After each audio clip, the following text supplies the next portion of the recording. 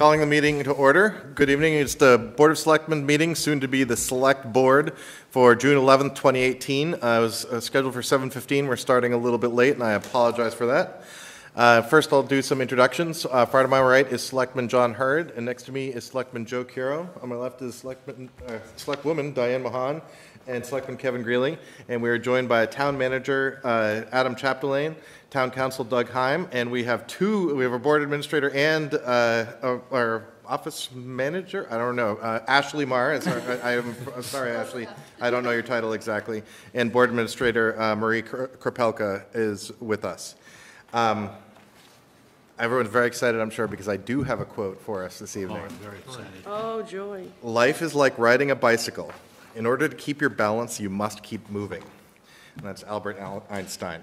So we've got bikes and we've got change on the, on the agenda today, so I figured uh, I'd, I'd set the, set the tone with that one. What happens if you ride the bike at the speed of light? Yeah, I actually looked for quotes about um, riding a bicycle and beer, and uh, those quotes were not suitable for this meeting. So, um, first up on the agenda this evening is a presentation and discussion for the Arlington High School uh, design concepts. Town Manager Chapdelaine. Thank you, Chair Dunn.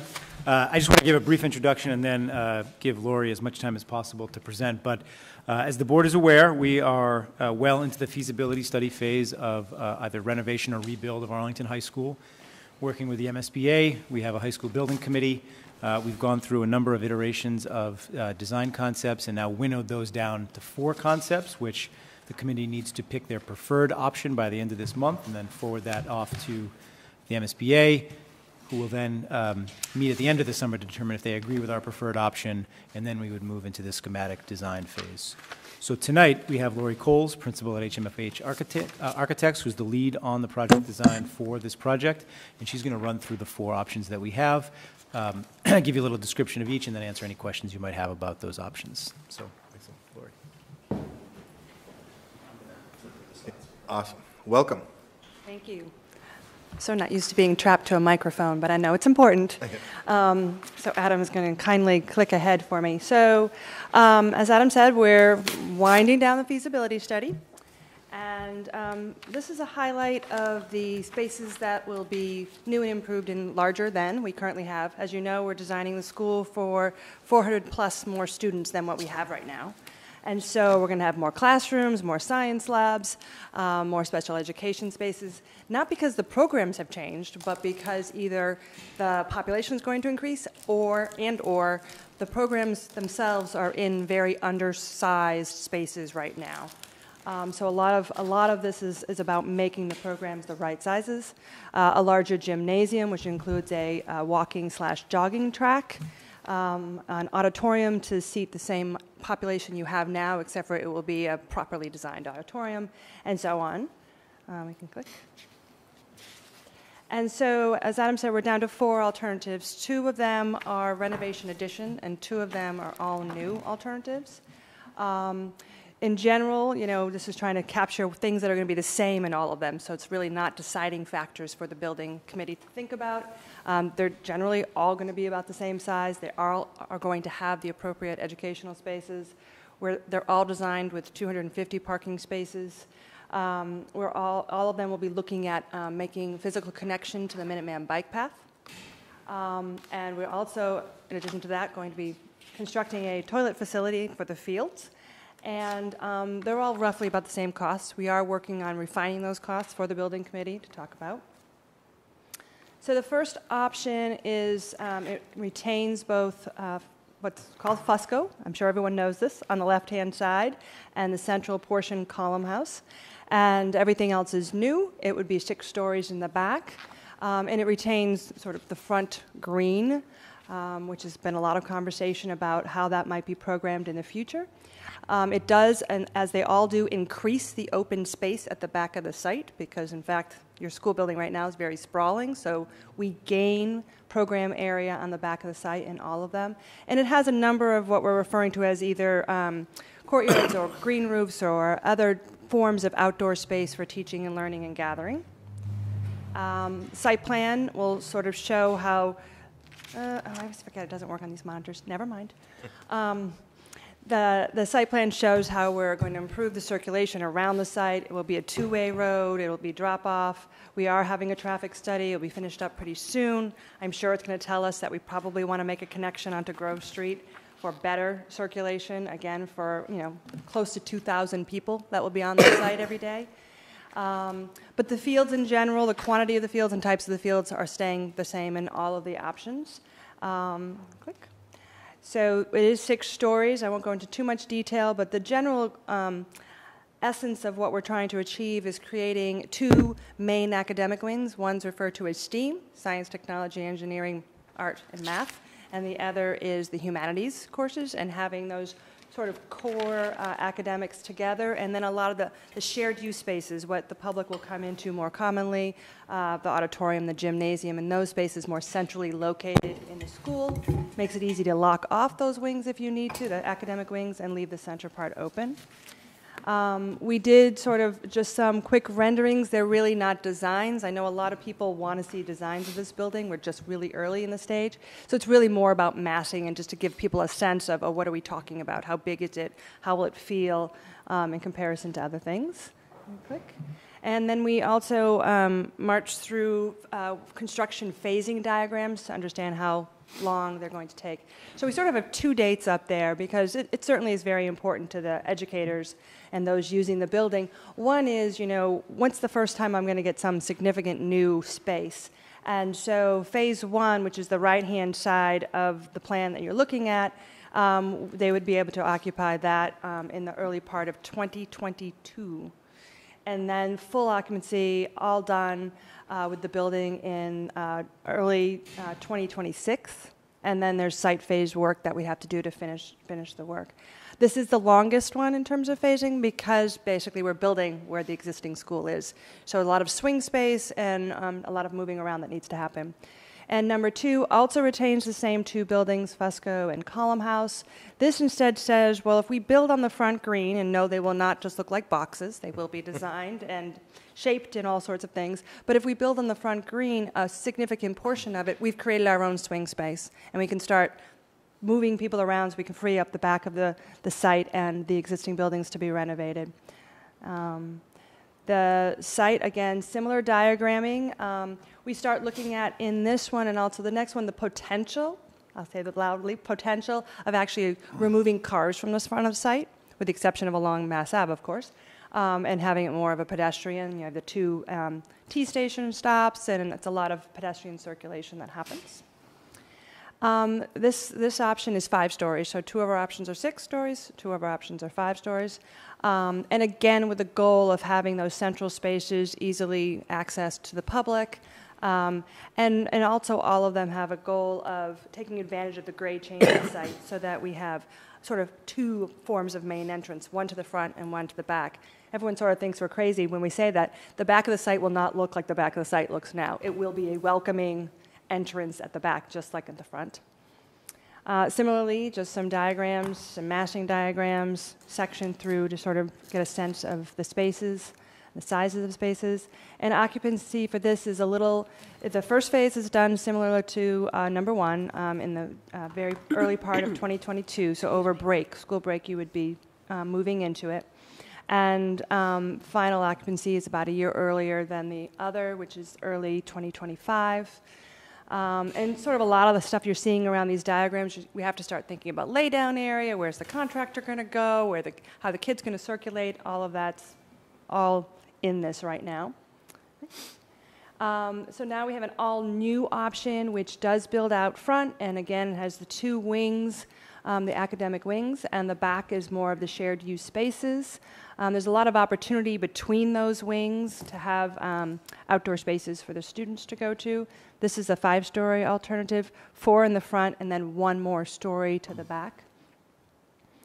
Um, the site development, I don't know if you can really see it, but if you look at where it says 160 and the parking, all of that is Downs House, the Red Gym, all of that. So all of that gets, you know, no longer built, and it becomes more programmed um, for site use. Um, and it's showing the six stories. And then click again, and then the, the front part of the building It is a little closer to the street, but the front green, we really believe, is, is pretty large and could use to be really more organized and programmed. We have memorials out there, seating, students come out there, so a lot of uses, but it's a pretty large space.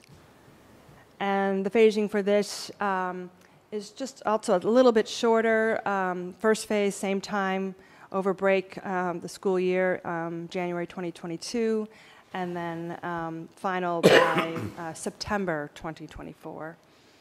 Um, and that has a lot to do with, again, how much we can build new um, and how quickly that can go versus the renovation phases. Um, and then the last option is all new. It's at the front green. It is large, it's six stories. I have been asked more than once if it can be smaller, but not with 400 plus thousand square feet, it can't.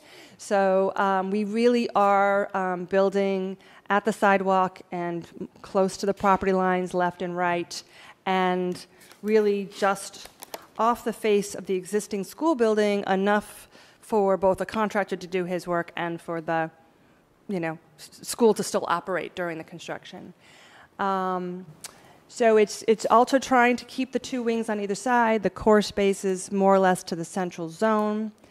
Uh, and then the site, as you can imagine, now everything that's building on the site would be open for other things. We do need to accommodate parking. One of the concepts here is that first sort of tier of parking would need to be raised up because the school needs accessible parking and drop off and the deliveries and all the things that happen need to be at the same elevation as the building. Um, um, and again, the six stories, it really is about um, taking the spaces that don't need light and they're in the center, so the gymnasium and auditorium, and then wrapping them on all floors with classroom spaces. Uh, showing it uh, along the street edge there and from the back. Um, same view, really, at the Minuteman Bike Path as all the others. And the phasing for this, um, both initial and full occupancy, because it in effect will be one phase, um, is September 2023, so it's earlier than the other ones. And then the site development takes longer than all the other ones, but only because it's all happening at the same time. So all the abatement, demo, and new development at the back of the site at the same time. And those are the four options. Any questions from anyone? Who's first? I, I have a lot, so I want to wait to see what, you might ask some of mine. Well, thank you. Um, So uh, the first two, the renovate, leaving the two uh, buildings, did I, w- will students be in school during part of that construction? Or they'll be all out of, or, Yeah. and then where are the students during the two totally new ones? So, so in, in all four of them, students will be occupying the site and school will be going on. Okay, So we have plans already that will make sure that the daycare and the preschool are off-site for the duration. Um, We'd love to take some more things off-site, but we don't really have a lot of places and choices for where they could go. Um, So in addition to that, um, in the first option, where we're not building new first, we will be building modulars, temporary modulars, which I know you're all familiar with, you've got them at your other, some of your other schools, um, to accommodate that swing space and to be able to start doing construction. So in the options that we do build new first, we're creating that swing space for us, you know. So, that makes sense? yes, it does, thank you. Diane? Um, I- I'm not sure to, if I ask a question that's like, hey, that's further on Oh, I- down, you Oh, I should. I was going to say, if you say if it's Adam's answer, I'd point to Oh, I mean, but, it- but if it's something, but so I, I mean, I have about seven or eight, so I'll just say them real quick, and if it's something to be determined, we're not at that stage yet, that's I'm- fine. that's fine. Sort of piggybacking on uh, Mr. Gr- Greeley, Kevin's uh, comment about off-site, if, between the two of you, if you could also ask uh, the people who are planning this for uh, the special education students, the severely, um, on the severe spectrum, which right now I'm get- getting from all those four plans, they're actually going to have a decent and appropriate, right now, they're, they're in the basement of a floor. Um, I don't even know where they are right now, but I can tell you that um, student population, if they also were in there when all that construction is going on, it's going to make it so hard for the staff Agreed. and those students. So if you could just, i- is that the question to ask you now? Absolutely, and basically, even though we don't have the answer of where they're going to go, we're very hopeful in all of these that they're not here as well. Okay. And then, um, when you referenced the uh, gymnasium, and you said it was going from 12,000 to 16. 16. Is that going to be, the like, right now, when I think of gymnasiums at the high school, I think red gym, blue gym, the pit. Um, Are you telling me those three gyms only combined for 12,000 square feet? So, so, um, so a lot of the lingo we use is related to the state funding agency because it's their sort of spreadsheet that we're working off of. So they have gymnasiums and then they have what's called alt-PEs, alternative physical education spaces. They call them alt-PEs. So, um, so basically the red gym is 12,000 square feet. Right. We'll be replacing that with 16,000 square feet gymnasium. The um, blue gym is about 6,900. We're replacing that with a 7,000 square foot all PE. And then um, the other piece is the um, fitness center. Is that what I'm calling the pit? No, No. that's okay. The Okay, pit is sorry. kind of special. The pit is. doesn't have. A But I mean, I'm just no trying to, correlating. yeah, no, I'm, the reason I'm asking Yeah. this is just from the sports communities, when all the other neighboring high schools were renovated over, Woburn, Tewksbury, Reading or North Reading, they, all their different uses for sports pretty much doubled. And, um, I'm not seeing that here, and I'm, I'm just trying to see if I, and I know it's beginning stages, and this is where you talk about it. Um, they, every other school built more rooms and more uses, you know, especially with gymnastics and cheerleading and, and wrestling, like the wrestling, wrestlers are down in the pits. Yeah. Cheerleaders, and I'm, what I'm seeing from all these plans, so if, don't answer this tonight, but if you could carry it forward, I would say at the very least, we should at least um, retain the current square footage in the different uh, venues that we have now. I'd like to see it increase, but, Right. because So we're I- we're I packed in we there as are it is. increasing. So I mean, we have a 4,000 square feet more in the main gym. So that's actually, once you add that with the other ones, it's more square footage than the spaces you have. The other thing that I certainly hope is that, um, what I understand from the PE teachers is the acoustics are so sort of dreadful in the red gym that they actually only ever use it for one class at a time because they can't hear themselves think, let alone kids hearing them. So the hope, the hope is that, you know, when you have this large gym, that you will use the divider curtains and you actually will be able, at minimum, to have two or even more stations See, I, I was a coach for about nine years at the, at the high school up until two years ago. Yeah. And I'm thinking of all the coaches that I, besides cheerleading, basketball, boys Yeah. and girls, and, and uh, gymnastics and wrestling. Yeah. Um, The worst thing that we have is when a gym gets designed and they say, oh, it's gonna be multi-use, and they just, like they do in the blue gym, just install a curtain that you drag across. You can't have classes in there, because you have one sport doing one thing. So if we can maybe get away from that, and that's what I'm saying, maybe somebody could go and look at Woburn or Reading or Tew- Tewksbury or Billerica. Um, If we can't get more space, we should at least have the space we have and make it functional, because we're not gonna go back for another crack at this. And then I'm assuming in all of the, um, plans, because I was skimming it and I was trying to figure out, um, we'll we'll still retain, along with the weight room, the boys and girls locker room, but get them up to Correct. standard in terms of lockers and, and uh, facilities, showering. Yeah. As you can see in these, the c- existing would be gone, so they'll all be new. Okay, yeah, no, I saw that it was gone, but I just didn't see that it was coming back, but you say that it is, and that's fine.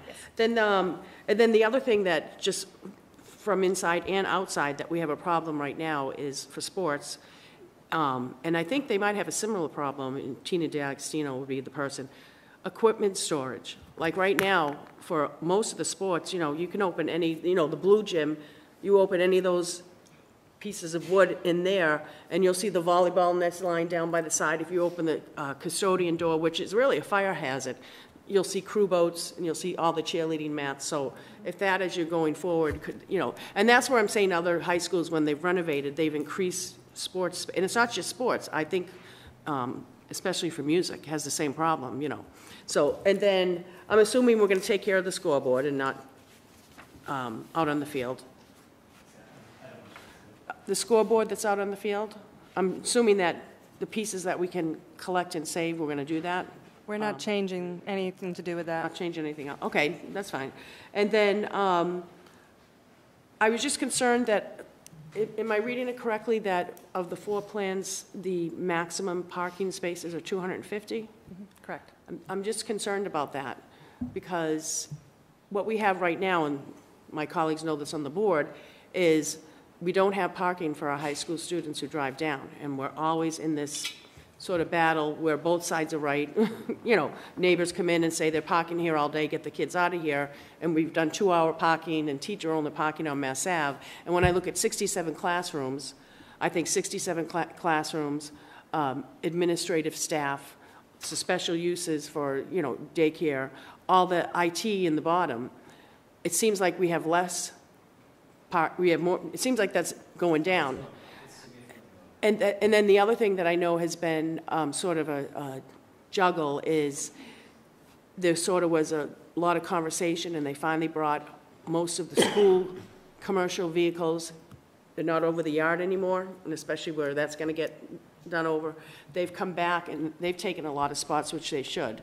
Um, and so I'm assuming when we're redesigning for the future that what, you know, because when I just see 250 parking spaces, I, I think that's low. I don't know if there's any room to really relook at that and, and see. Well, we have, you have 200 now on the site, Right, so it's increased from that. And the hope is that some of these programs are going off-site, so some of the offices are going to go off-site, and but not a single student can park at the high school right now. That's just. Correct. That's just for staff, and there's not enough, especially, with you know, with coaching and specialists coming in, so, okay, I'm, I'm just figuring if this is the spot. And then, last two things, um, I know you're not really doing anything outside, but I saw that the uh, bathroom facilities are going to be moved.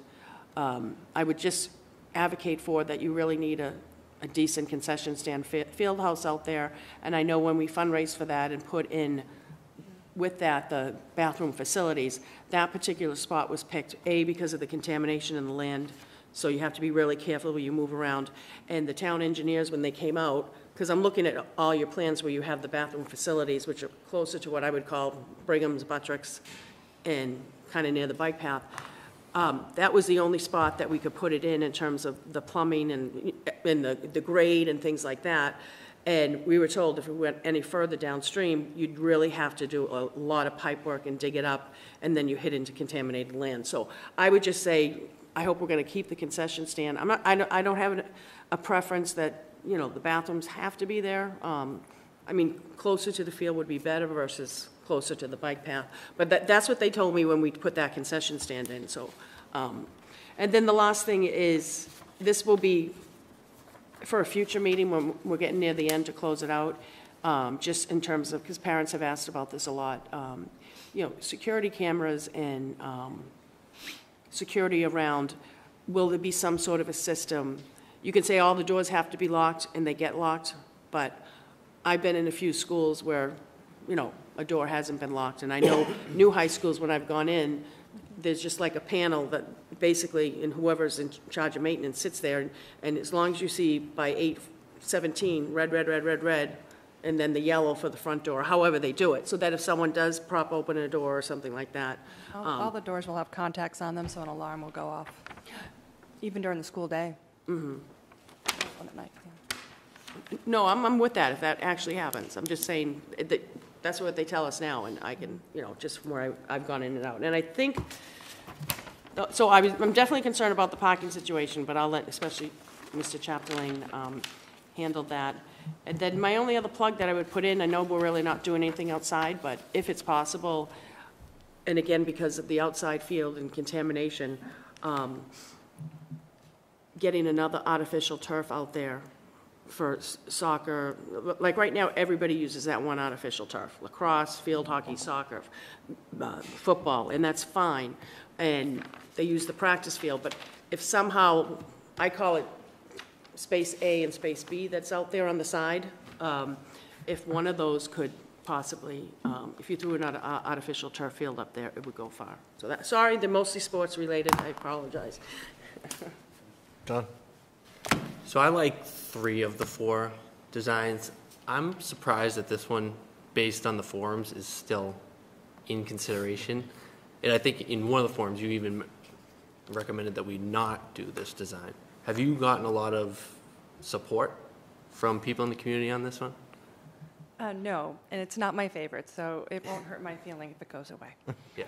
No, I just, when I saw the, the final four designs, based on the responses we had gotten I think it really was to have know that, why it was still that there. comparison, you know, Yeah. to really see what it would be like if you did do that, and to take it a little farther um, in terms of both phasing and cost, and, and answer any of those questions, should somebody say, hey, why don't we build on the front, gra-" you know, so we're Right. just trying to answer that question. And in that design, does the phase two, does that get knocked, knocked away? Yeah, that's when it, yeah, yeah. What would be there? Do we know So yet? Parking, probably, you know, parking and, you know, some rearrangement of things in the back, better circulation. Receiving, d- you know, dropout, all, all of that still has to happen, so. Yeah, probably, yeah. I didn't know if that was there to make the other ones look better. So ju- just to add um, a little, a little more of a, I I suppose, strategical answer to that question. So myself, the deputy town manager, members of the finance committee, capital planning committee, others on the high school building committee have really pushed for the consideration of this option because when we go to the voters next year, when this board considers voting uh, to go to the voters, we want to have the answers to all the questions that are going to be asked. And as you can see, that option would be completed nearly three years before some of the other options, right? So you're dramatically reducing construction disruption, you're building all new space, you're freeing up a lot of space for playing fields and parking on the back of the site. So there's a lot of good things about it. There's also a lot of bad things about it. We don't have new or updated cost estimates yet. That will also likely be the significantly most cost-effective option because you have no modular classrooms, you have much less construction inflation over the duration of the project, though it's a little bit of a complicated construction based on its tight site. So ultimately, it's probably 100% right that that's not the preferable option. But mm-hmm. when we go to the voters, we want to say, we didn't just dismiss it. We studied it, we analyzed it, and here are all the reasons why we still chose to go with an option that, though maybe more costly, is a far more effective option for Arlington students. Uh, Thank you very much. I had the benefit of seeing this last week, so I I appreciate the work that you and the uh, building committee have done. I think we had a, probably two- 200, 250 folks came out, and it was very clear that a lot of the people who were in attendance last week at least didn't, um, don't have kids in the schools anymore, but, but were very engaged and and interested. I appreciate the work that the building committee did to try to, um, and, and, and you, of course, Lori, to uh, lay out the options and give people a chance to really give feedback on different um, criteria um, and, and, you know, costs and benefits. Um, I think in terms of transportation, we talked about parking, but I think one benefit that you, you just skirted over here that I think um, uh, we've been sadly missing in the high school now is that, that connector to Minuteman Bikeway. So having that ability to approach the high school from that side, I think is a big deal. Um, Correct me if I'm wrong, I mean, uh, one thing in all of these designs that I've really appreciated is the logical approach to uh, laying out the um, areas, the different concentrations of teaching and learning uh, in the, in the various wings. It's more difficult in this last one, is it, is it not? Or, uh, Yes, it is, yeah. it is. And Could, it's could you expand on that a little Well, bit? there's, Yeah. there's a couple things. I mean, one, it's, it's hard to lock off for the public areas because really the gymnasium and the all PE spaces are in with the preschool for Yeah. all intents and purposes. So, so you literally would have to lock it, you know, conscientiously lock every classroom door as opposed to just being able to close off the hallway. Um, so, you know, we worry about those things, just the overlap of the different, the different groups that are in the Yeah. building. Um, and it's just a little bit more spread out the way we had to lay them out. And so while the other ones all sort of have what I refer to as pods, they're a little closer grouping, what's, you know, everything that you, you know, is happening on that wing is all, you know, being used by the same group. In these, in these floor plans, you're really walking around a very large U-shaped, single-loaded corridor for all intents and purposes because there's just like one giant space in the middle that may or not, may or, you know, maybe just the double height space that you don't actually go into. So it's not as um, collegial in that way in terms of the grouping, so. Thank you. I, I really look forward to seeing which approach is selected by the committee and, and seeing us get into some real specifics of design. So I will actually say, like, I'm, I'm not upset about number four, and and I'm, uh, and I know that it, it, it like it, it certainly has its negative parts, but like the speed, I just love it. Like, uh, when Minuteman figured out how to deliver their high school like one year faster, it was just made such a big difference to their price and to their experience and how it worked. So, I mean, it would be, you know, we're all wishing for things. and I wish, I can, wish it's cheap and fast and perfect. So, but okay, we'll stick with that. Uh, uh, Did you, Kevin, do you have one more? Well, if I may, well, no, no, your turn, sir. Uh, ju- So my, just in terms of uh, timeframe, like, so obviously, w- one of the things we think about is when we're going to go to the voters. Uh, Given where you are right now, what's your range? Like, where do you think it is going to be the right time? And what's your range, like, inside and outside? So the schedule we're working off of is next spring. Yep. And so I don't know, I don't know how you, what schedule, if that's April or May or whatever the, the, the month might be. So we're working towards, um, you know, submitting in July so that we have a response from the MSBA at the end of August. Then we start the next phase, which is called schematic design. Uh, at minimum, we need six months for that, um, and that's, if all goes well, that puts us into the end of February, which again, we would submit to MSBA. Um, and then they have a um, April board meeting. And so they have a requirement that in their board meeting, when they have voted positively, that the community votes within 120 days. So no earlier than April. We'd, was when, we, we wouldn't set our date until at least April, Yeah. because. So you'd be able to set your date and we'd, And I think we have to do at least 30 days, so there's no way we're doing a vote until May. Or June.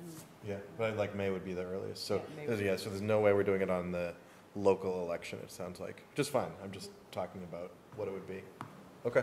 And If, if I may, Mr. Chair, just to, to add a little uh, more context as well, I think the, the window of risk or where we're, where there's risk in that timeline slippage is really right now, in the next month, if the high school building committee can't decide which option and they want more time to study, that could be slippage. And this is probably not likely, but even if we select an option that the high school building committee wants to move forward and the MSBA doesn't agree in August, that's the meeting in August, right? Th- Those, those are the two windows of risk right now for Okay. timeline as I see them. Cool.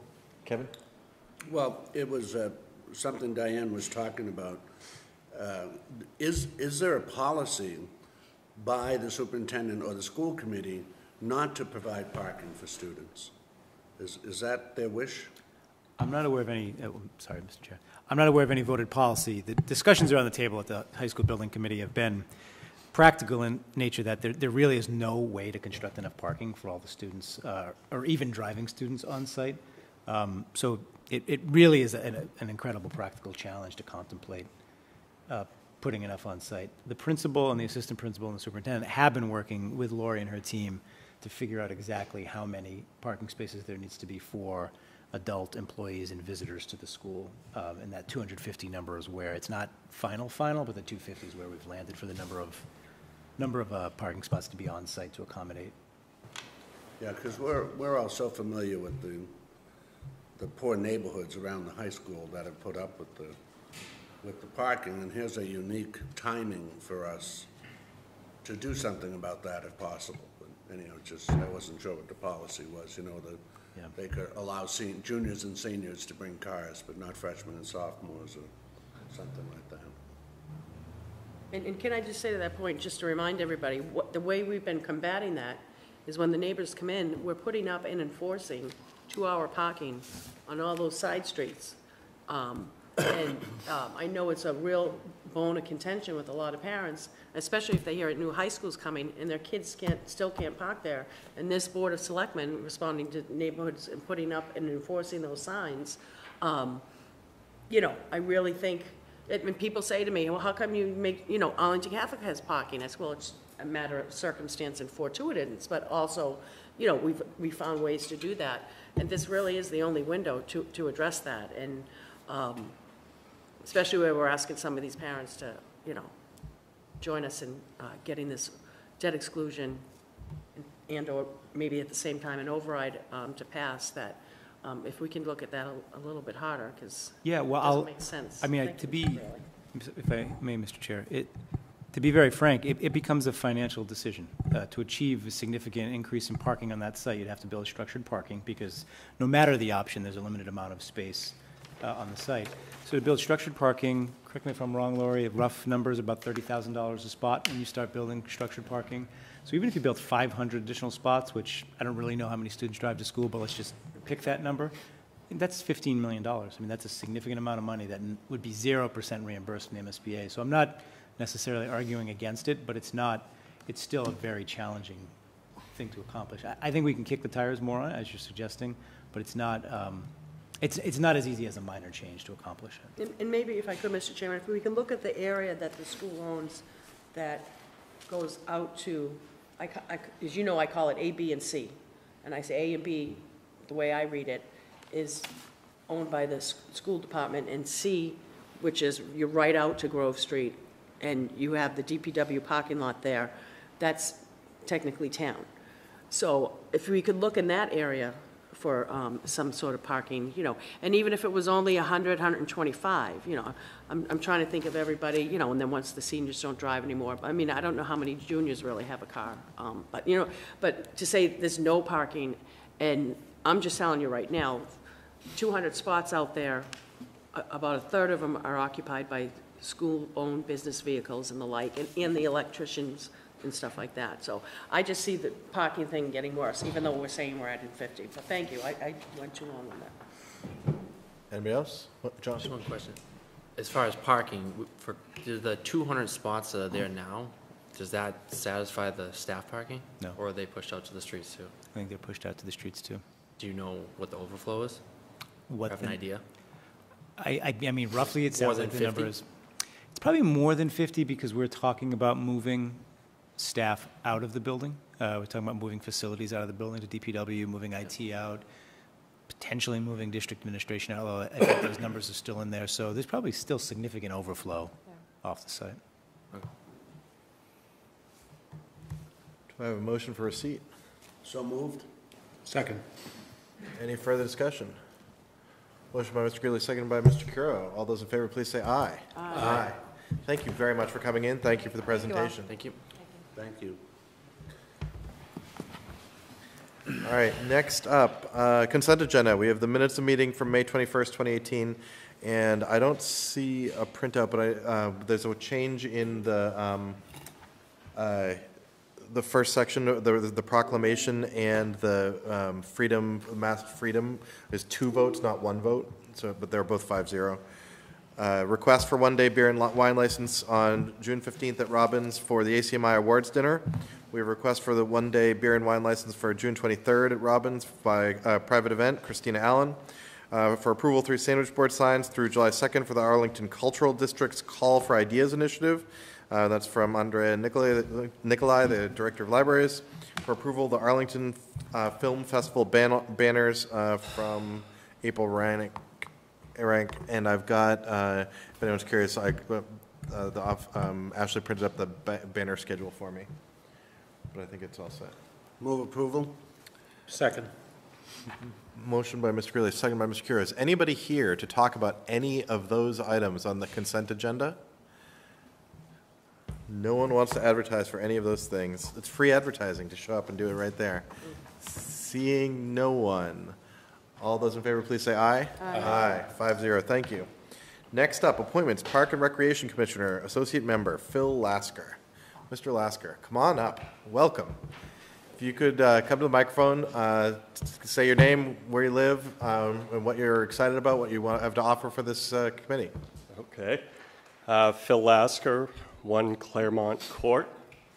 Um, Been a resident since 2005. Uh, First in East Arlington, now up in the Heights. Um, Former landscape architect, now a contractor for the past 13 years, uh, specializing in track and athletic field construction. Um, Probably constructed over $10 million, uh, sorry, $100 million in parks, fields, tracks, courts. Um, Excited to work with the board and the commission um, on capital improvement programs. Uh, I have two kids in Arlington soccer. Uh, I'm an assistant coach for both of them, so excited to give back to the community. Excellent, thank you. Move approval. Second. I've got Diane and John. Are there any questions? Uh, Just why is there no expiration date? We're appointing him for the rest of his life? We, we hope, yeah, yeah, we didn't. I didn't sign up for that. It's an associate, there's, there's no No, the specified term for associate, associate. okay, sorry. Thank you very much for volunteering. Uh, Thank we you. were- There's volunteers that make it work, and we really appreciate you and, you know, everybody else bringing, bringing forth your skills. Thank you. All right, all those in favor, please say aye. Aye. Five zero. Welcome. Thank you. All right, next up, we have rehearing for a butter notification, Sidewalk Cafe, uh, alteration of premises uh, for uh, Acitron. And do we have, come on up. Could you introduce yourself and just tell us briefly about what's, what the, what the change is? The rehearing, yeah. My name is Gotu, and uh, I was here before for the for the patio that we're going to open, but um, we didn't think we needed an a, abutters notification for like for altering the premise, you know. So we just we did not submit that, and uh, I mean.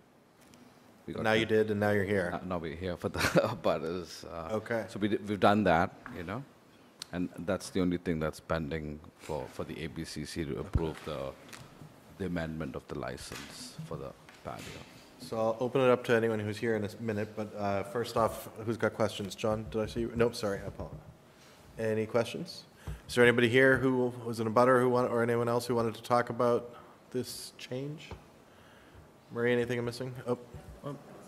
Mr. Adosha, do you want to come up to the mic?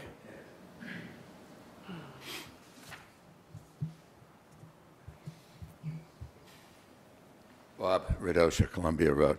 Um, I just got wind of this. I have no idea what it's all about. Does- Could somebody give me an overall um, view of what it's supposed to be?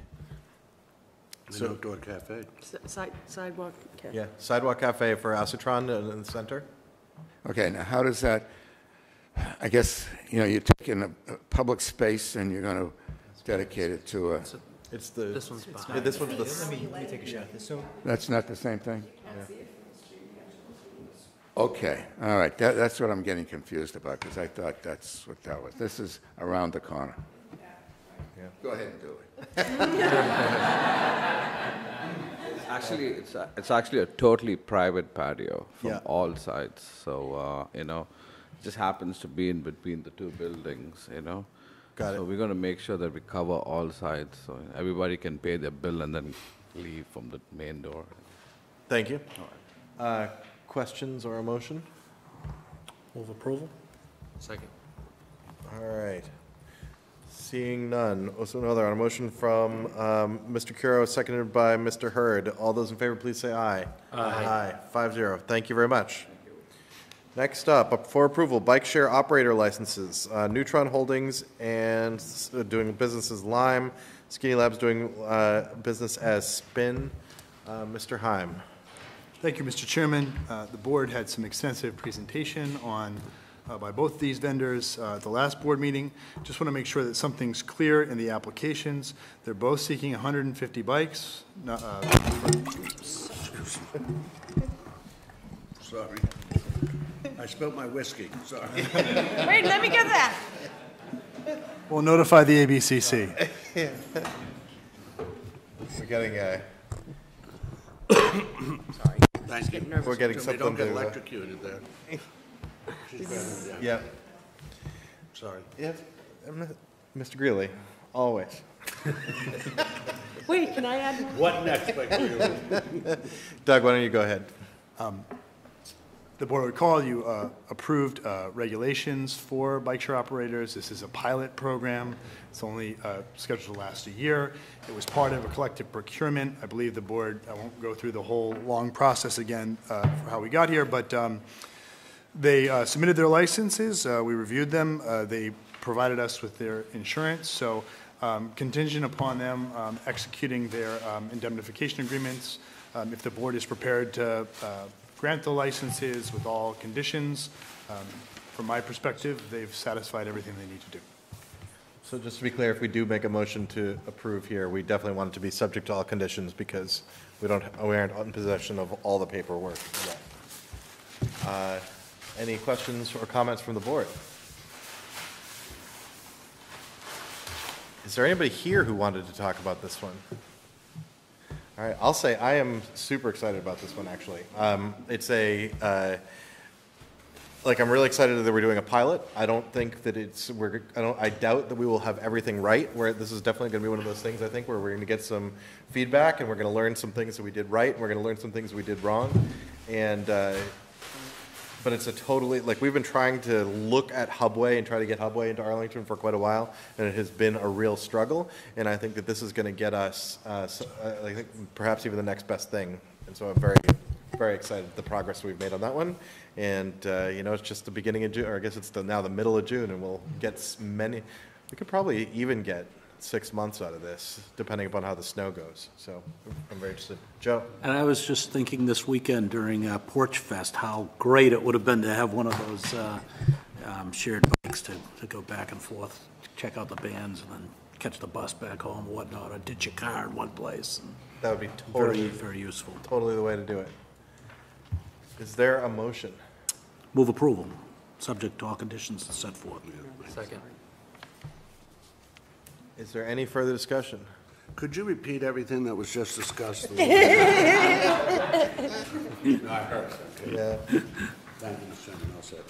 Uh, On motion for Mr. Curro, seconded by Mr. Hurd. All those in favor, please say aye. Aye. All right. Next up is the Citizens Open Forum. Uh, Except in unusual circumstances, any matter presented for consideration for the board under Citizens Open Forum shall neither be acted upon nor a decision made the night of the presentation in accordance to this policy. It should be noted that there is a three-minute time limit to present a concern or request. Mrs. Krepelka, do we have anybody who signed up? Or or- sorry.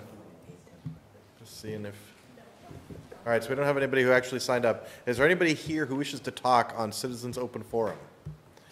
We've got a couple other items on the agenda, so if you're here for that, that's great. But if you had an open topic that wasn't on the agenda, seeing none, Citizens Open Forum is closed. Traffic rules and orders and other business. Discussion, Regis Road repaving. We've got a note from Elizabeth Gottlieb and the residents of Regis Road. I apologize if I mispronounced your last name. I'm guessing I got the first one right. Welcome. Could you introduce yourself and uh, talk and let us know why you're here?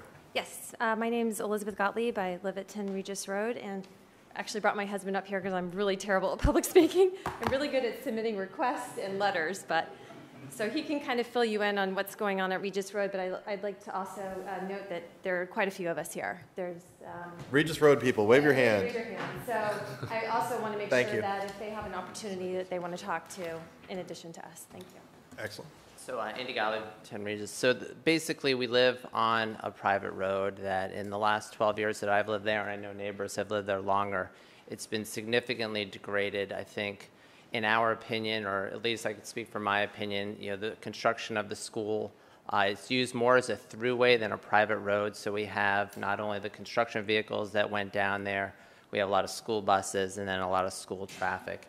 It has from time to time been filled in, but obviously that's not a long-term fix. So what we'd like is the assistance of the town in any way to help us, you know, make this road uh, in better repair for a more long-term.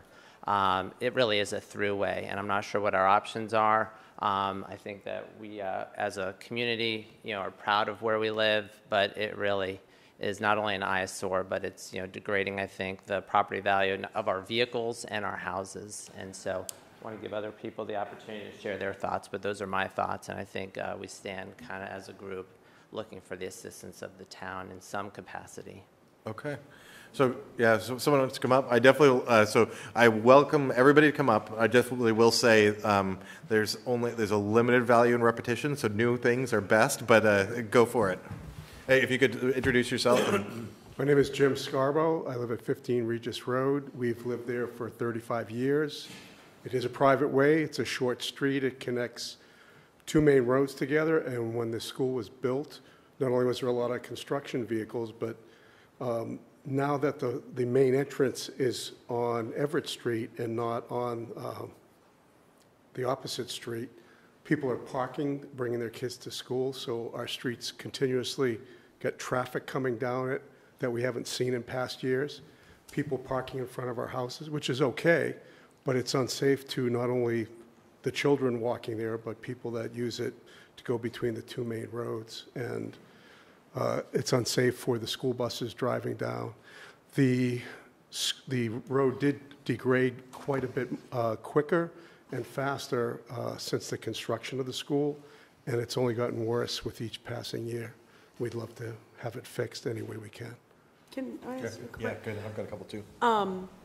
And, and I just, from the correspondence we've received, one of the first line um, responses we have is to uh, engage in the betterment program, but I understand from this, this is not something that you all are interested in. The question I have for you, I think it was Mr. Scarborough? Yes. Scarborough, sorry. Only because you, you've lived there 30, 35 years, and I tried to go back and find, and I couldn't find anything. Do you, do you recall in those 30 uh, to 35 years, um, Regis Road being paved? Regis Road is, hasn't been paved since we've lived there, but it's been rocked. Right. When we first uh, moved there 35 years ago, um, every few years, they would uh, rock the road, and the rocks would stay there for three weeks, and then they clean them up. Occasionally, they patch a a pothole, but now it's to the point where it it doesn't matter how quick you patch it, it gets torn up. It is extremely unsafe. And what's also additionally happening that I haven't heard is that when people come down our road and they're not residents of the, the road, they're using this private way as a thoroughfare, which, which is okay, but they're, to avoid the potholes, they have been driving up on the front lawns of the residents in the street.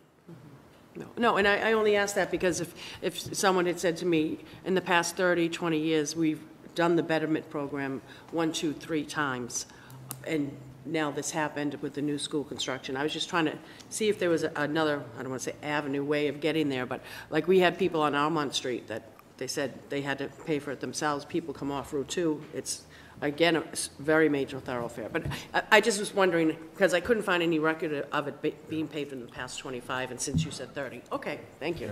Just Thank on you, the same Chairman. thing, when you say the, it got rocked, was that the town did it or the Yes. residents Town. did? No, the, the, the town did it the first few times, and I think the very last time, it- I think it's been done three times since we've lived there, I could be wrong. It seemed to me they were just doing it automatically, and then the last time, we either had to chip in to get the road patched or to get it rocked. So you did, so the residents did put in some money then? It was like seven hundred dollars a, a house or something like that. That was a long time ago. This is- I mean, a long time ago, could have been more than twenty years ago. Yeah, so it was, okay. Uh, Anyone else with questions? All right, is there another, someone else who was lining up?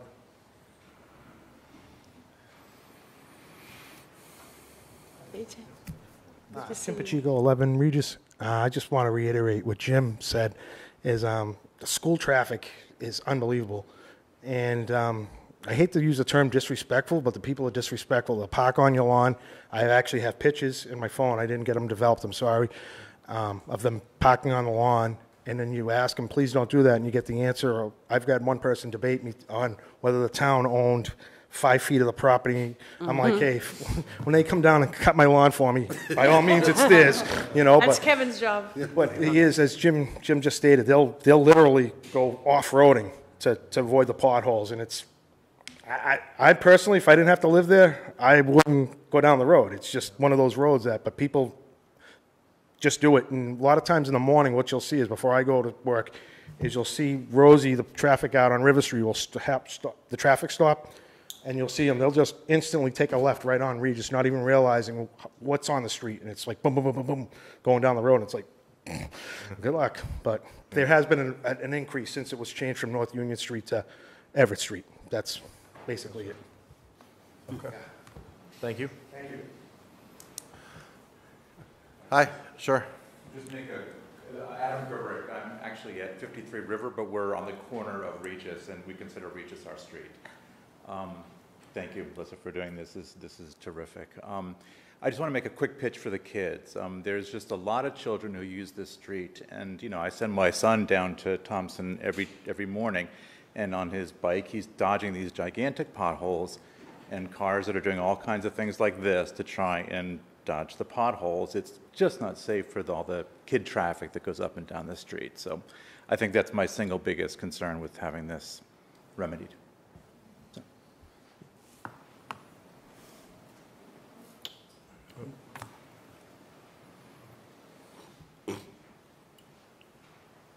Hi, I'm Jeannie Jamgochian. I live on 18 Regis Road. I have lived there for almost 29 years, and they have never rocked it since I have lived there. Nothing has been done. It's been an, a fight to even get the potholes that were there minorly filled. So if you'd get a couple of them filled on one end of the street, the other end of the street was just the same huge divots. I've seen the construction, and it has deteriorated since they put the Thompson, the new Thompson Inn, the amount of traffic, the buses. Now they made um, one of the roads that jets across Regis a one-way street.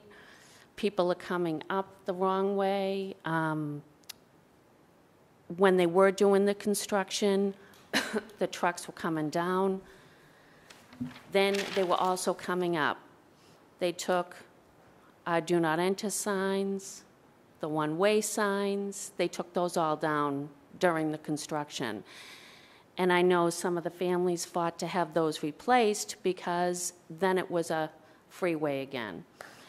So anything you can do to help, we'd greatly appreciate it, and thank you for listening.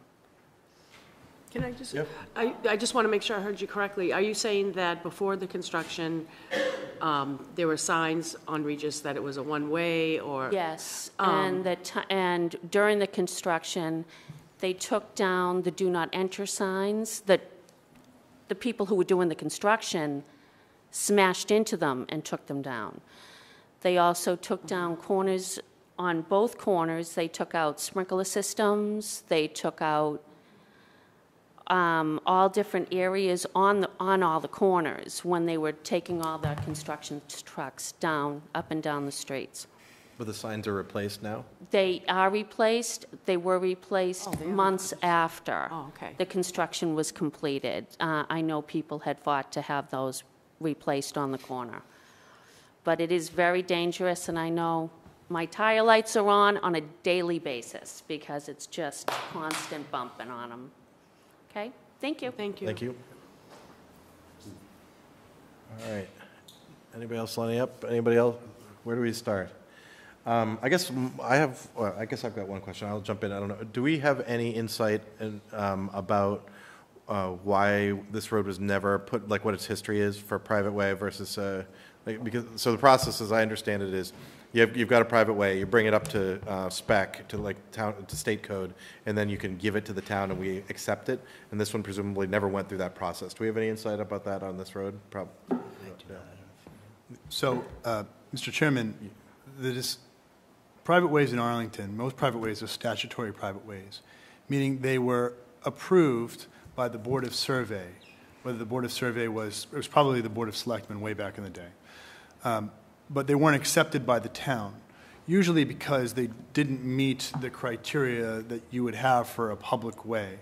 And that's the way a lot of towns like Arlington were developed, because otherwise they wouldn't have been feasible for the building of homes. You'd expect pu- public ways to be of a certain width and grade and quality and things like that. So without knowing exactly about this road's history, it's rare in Arlington that a road would convert from a private way to a public way. Kevin? I, I, I actually think there's a moratorium on accepting private roads to private way, public ways. Um, I think town meeting actually took a vote on that. But anyhow, um, but I don't know that that's what the neighbors want. You know, you go to a public way, now you can't do parking uh, on, on the private way overnight. Uh, Am I right? Is that the solution you all want? You want it to become a public way? Uh, ma'am, Do you There's wanna- millions watching at home. She doesn't like. If anybody else wants to jump up. Don't get nervous about that, but there's Um, millions, yeah. I mean, I'll speak for my house, 10 Regis Road, that we would be fine turning it back over to the town. I don't have a problem with that. Um, You know, I don't know how the rest of my neighbors feel. I think some of them, um, I don't think we can. I think Yeah, it's I don't- seven- I- not it's 75, to- uh, it's my memory, but I do want to hear, it was either 1975 or 1979, um, and, meaning the year before, that was the last time the then Board of Survey, Board of Selectmen, um, under Mr. Marquis, um, accepted some private ways, and then um, there was a moratorium put on that. Um, But, so if that gives you any guidance, it was either 75 or 79, sorry. Yeah, Doug. Thank you, Mr. Chairman. Uh, Thank you, Madam Vice Chair. Uh, I think that that is, that is certainly one issue. The other issue is that in order for the town to accept a private way, that private way needs to be brought up to the standards of a public way, not just with respect to the condition of the roadway, way, way, but with respect to the width and other things that would, that are very expensive and have to be borne by the private way owners before the town can take a vote to accept it. So it's a very expensive option that's not any more cost-effective than the betterment process in most situations, especially on a roadway that's relatively small, and so there's not, or relatively short, so there's not a lot of abutters. I- If I may quickly, uh, or try to be quick, um, there's quite a history to private way development in the Commonwealth. And one of the things that's important to understand is that private ways in their default are not serviced by the town in any way. Town meeting over 60 years ago took votes to do things like start plowing private ways and providing other municipal services. Otherwise, without a town meeting vote, the town was prohibited from providing uh, tax dollars to be spent on private ways, which is why there was so much debate over a certain period of time, because there are so many private ways in Arlington. So it's a difficult situation that I think a lot of us are very sympathetic to. I know that I've talked with Abby Matheson recently about this on a podcast. I've met with a number of residents about their circumstances on a private way, but accepting, trying to get the way accepted as a public way is, is probably just as expensive and onerous of a process, if not more, than the betterment process. And I, I think Ms. Mahan is correct here that there doesn't seem to be in any record that I have of accepting a private way for quite some period of time. Yeah, And I understand all that, and I, um, you know, I think part of, because I've driven around Arlington, I know where some of the private ways are, the ones that are kind of tucked to the side, that are not used. I mean, part of the reason we brought this forward is because we literally are one of the main traffic thoroughways to the school. And we just feel, we all pay taxes, I don't think our taxes are cut, you know, you know, in any way, because we live on a private way. So we're all paying the same amount of taxes as everyone else, but yet they're destroy- people are destroying our road. Um, and then for us to have to foot the bill for everybody else to go to the Thompson School, it just, to me, it doesn't seem fair. Um, and I think that's kind of what drove me to reach out to my neighbors, and, and that's why we're here. So, um, I, you know, I'm open to all kinds of different options. Um, I don't know if anybody else, Jim, Jim Yeah. wanted to. So one last thing, outside of just the fact that the road's a hazard, but it's a safety factor. This is one of the main roads that leads people from River Street um, to the, the main entrance of the Thompson School. And there's continual uh, traffic, kids and parents walking up and down there, people driving up and down. So there are no sidewalks because it's a private way. So they have to walk in the street. Now the street has I I couldn't count how many potholes in it, with cars and buses driving down that can't stay on one side of the road or the Yeah, I think we did get that one earlier. Yeah, Yep. so, so that makes it even more of a safety hazard to the children that are trying to go to school, not only um, the fact that the road is chewed up and the vehicles can't get down, but it's a real safety hazard for the children. Okay, thank you. Um, Mr. Curro? Thank you. I mean, I I think you're, I don't think you're hearing that we're not sympathetic to the situation. It's just we've got some legal impediments with what we can legally do with a, with a private way. Now, to- I- I'm going to defer to the town counsel, maybe town manager. Town meeting did just pass some, some measures that allow some um, temporary type repairs if there's a declared safety situation. I- I don't know if that's applicable here or not, and and that bylaw is not in effect until the Attorney General passes off on it within the next couple of months. But um, if you could summarize the, the- the tools that might be available to us that have not traditionally been available to us? Thank you, Mr. Chairman, if I may. Uh, The betterment bylaw, just so folks are clear, the betterment bylaw does not actually exist in every community. The betterment bylaw was a way that towns were trying to help their residents by essentially giving a no-interest loan over a very long period of time to help reflect, to help meet the cost of it. And it's a discretionary tool that the Board of Selectmen has criteria to, uh, to evaluate whether the town should essentially front much of the cost for an improvement to a private way, and then assess it on a tax bill over a long period of time. And one of the factors under uh, that bylaw is the volume of traffic that utilizes the private way. So that a dead end might not get a betterment um, from the Board of Selectmen, but something that uh, does, does get accessed by the public a lot, or, um, you know, requires emergency vehicles such as uh, police, fire, and rescue to navigate it. The recent change to the bylaw allows the town, the town previously probably shouldn't have been making any repairs that didn't, weren't pursuant to a betterment. Um, Maybe they, maybe they were, and we, and we have been, but we're technically not supposed to do that.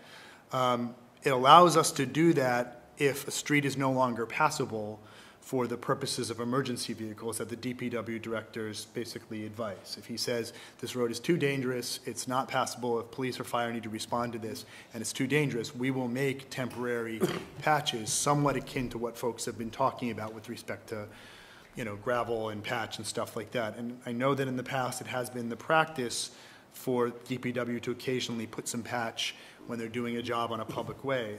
The difficulty with that is the town can absorb liability for doing, for making repairs that it's technically not supposed to make to a private way. So it is a dilemma. I'd also just add really quickly that you are allowed to prohibit people from parking on your private way. And if people are damaging your private property, that is an issue that is um, not restricted by private ways or public ways. There's no reason for folks to be driving on your lawn and causing damage to it or endangering anybody. I mean, that's, that, that is a separate bucket of issues that should be addressed. Um, But the long and short of it is, is that yes, there is a way that we can make some temporary repairs, but it's not meant to serve as a um, resurfacing project. Right. Correct. Kevin? So, uh, I mean, I, I, I hear and I feel for the neighbors. Of course, what we do to this private way, every other private way in town will now come back and ask us because, um, you know, uh, what's happened to their street because of other, pa- you know, traffic pass-through. But clearly a unique case with the uh, construction. I wonder if he won't hate me, if we might refer this to the manager and to uh, Michael Rademacher, uh, the Director of Public Works, and Police and Fire to do an evaluation uh, of this situation. By any chance, is there any money left from the Thompson School construction um, um, that maybe some of those funds might be able to be used, uh, since that seems to be by far the thing that's caused the greatest problems? Want to help, but I, I don't know how much we can do. But forgive me if I make that motion if that's, if, if you don't scream at me right now. No, no, no. I, I think a referral, if I may, Mr. Chairman, I think a referral is a good idea. Uh, I think the legal impediments that uh, town counsel and some of the board members have described are real, a- and they're a challenge for us to figure out. But I think a referral with a little more discussion and, and research could be, could be helpful to your question. Uh, There are uh, funds coming in for the, uh, under, the Thompson expansion came in under budget, so there are funds available. Can they be spent on something like this? Probably not legally. But, I- but I think a referral is. a- Well, order Doug to find a way around that. Yeah. Was, was that a motion, Mr. Greeley? Yes, I, I move we refer it to the manager. Second. We have a motion and a second. Not to put it off, to, fu- to try and help find a solution, but. I just, one, one quick one on Mr. Heim. Um, My wife unfortunately couldn't be here tonight because she's home with my kids, but um, she spoke to, s- I can't, I'm not going to quote on who she spoke with at the police department, but they told her straight out that they had no jurisdiction on the street and they couldn't tell people not to park there. And we- somebody's got to get their oceans crossed. And on the other note, I did read about that article about, you know, public safety trucks going down the street, and that's a nice new uh, ladder truck. I wouldn't want to drive that, and I have experience in driving a fire truck, and uh, I wouldn't want to drive that thing down that street at a fast rate of speed. It's nice. You don't want to damage it. It goes slow. Doug? So, uh, Mr. Chairman, yeah, th- uh, it's pretty clear, uh, I'm definitely happy to talk to the police department about this, but under Chapter 266, Section 120D, um, you have to put a notice on the car saying, you know, you're, you know, not allowed to park here, um, and you'll be subject to towing. I mean, what's difficult, I think I recognize that the practicality of that is sometimes hard when it's parents dropping people off in the mornings and stuff like that. And I get that. So, I mean, but, but yes, we are, uh, we are allowed to basically authorize towing as long as someone's been notified that they can't park in a private way. So I'm happy to talk with folks more about that specific piece of things outside this context. I'm also happy to meet with folks anytime to flesh out what the legal concerns are, what uh, Mr. Greeley is asking the board, uh, what the board may be asking us to do. I'm happy to meet with representatives and try to go over these options in a little bit more, more detail. So I guess my thought on, so I'm- I'll be happy to support the motion, and maybe uh, Mr. Chapdelaine is going to come up with a creative solution, but I just want to set, like, I just want to say that one of the, couple of things I see on this are, private ways are set by state, uh, what the, the, what you can do with that is set by state and town laws, and uh, a, a road that hasn't been replaced in 30 years is outside its expected lifespan. And so, in general, you know, people who live on private ways in Arlington have to, like, they pay for their, their own repairs. And so, like, I'm trying for, like, we'll- so we'll see if, you know, Mr. Chapdelaine can work a miracle and bring up something. But in general, this is the way it works for private ways. And I just want to, I don't want people to get too, um, I don't want expectations to rise too much because they're, the, the, the, the rules and the law on this are, you know, fairly clear. And unfortunately, you're not, like, we, we get, as selectmen, we, you know, we get this feedback a lot from people who live on private ways. And our answer is pretty consistent on that. So, Mr. Probably Curro. worth noting that number of selectmen live on private ways too. I live on two. I live on the corner of two, so. I only live on one. uh, Sympathetic or empathetic, I think. I live on a private way, Mystic Street. Oh, no, it's not private.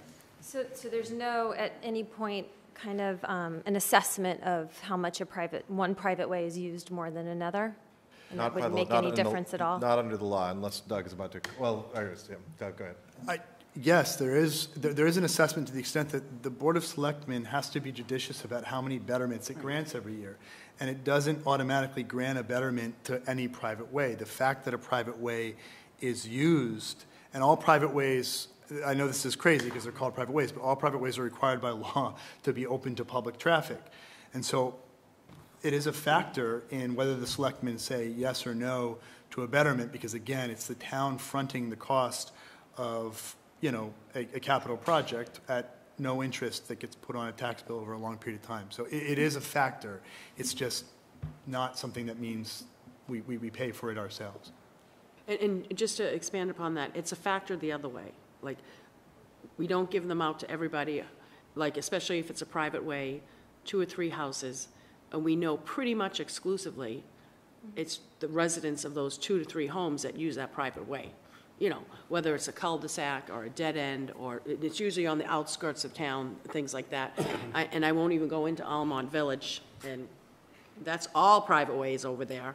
And Lexington, Belmont, Arlington, everybody uses that, and, you know, we can't get, so just to expand upon what Attorney Heim was saying is, yes, there are uh, accommodations we take into mind, but it's the other way. It's mostly, you know, if a street comes in and we say, you know, the public really doesn't use this road, so we can't give you that opportunity unless there's some other extenuating circumstances that can convince the majority of the board, and the majority says yes. But that's where the, the count and the peaks and, um, but I, I look forward to, well, I'll have to say, wait till the vote. I can't say I look forward to the manager looking into this yet, because we haven't voted, sorry. Any further discussion? All right, so we have a motion from Mr. Greeley, seconded by Mrs. Mahan, to refer to the town manager for consideration and see if there's a creative solution available. All those in favor, please say aye. Aye. Five zero vote. Thank you all for coming in. Thank you all for ta- sharing your Thank you for your thoughts. time. All right, next up, discussion proposal to hold a weekend beer garden at Whittemore Park.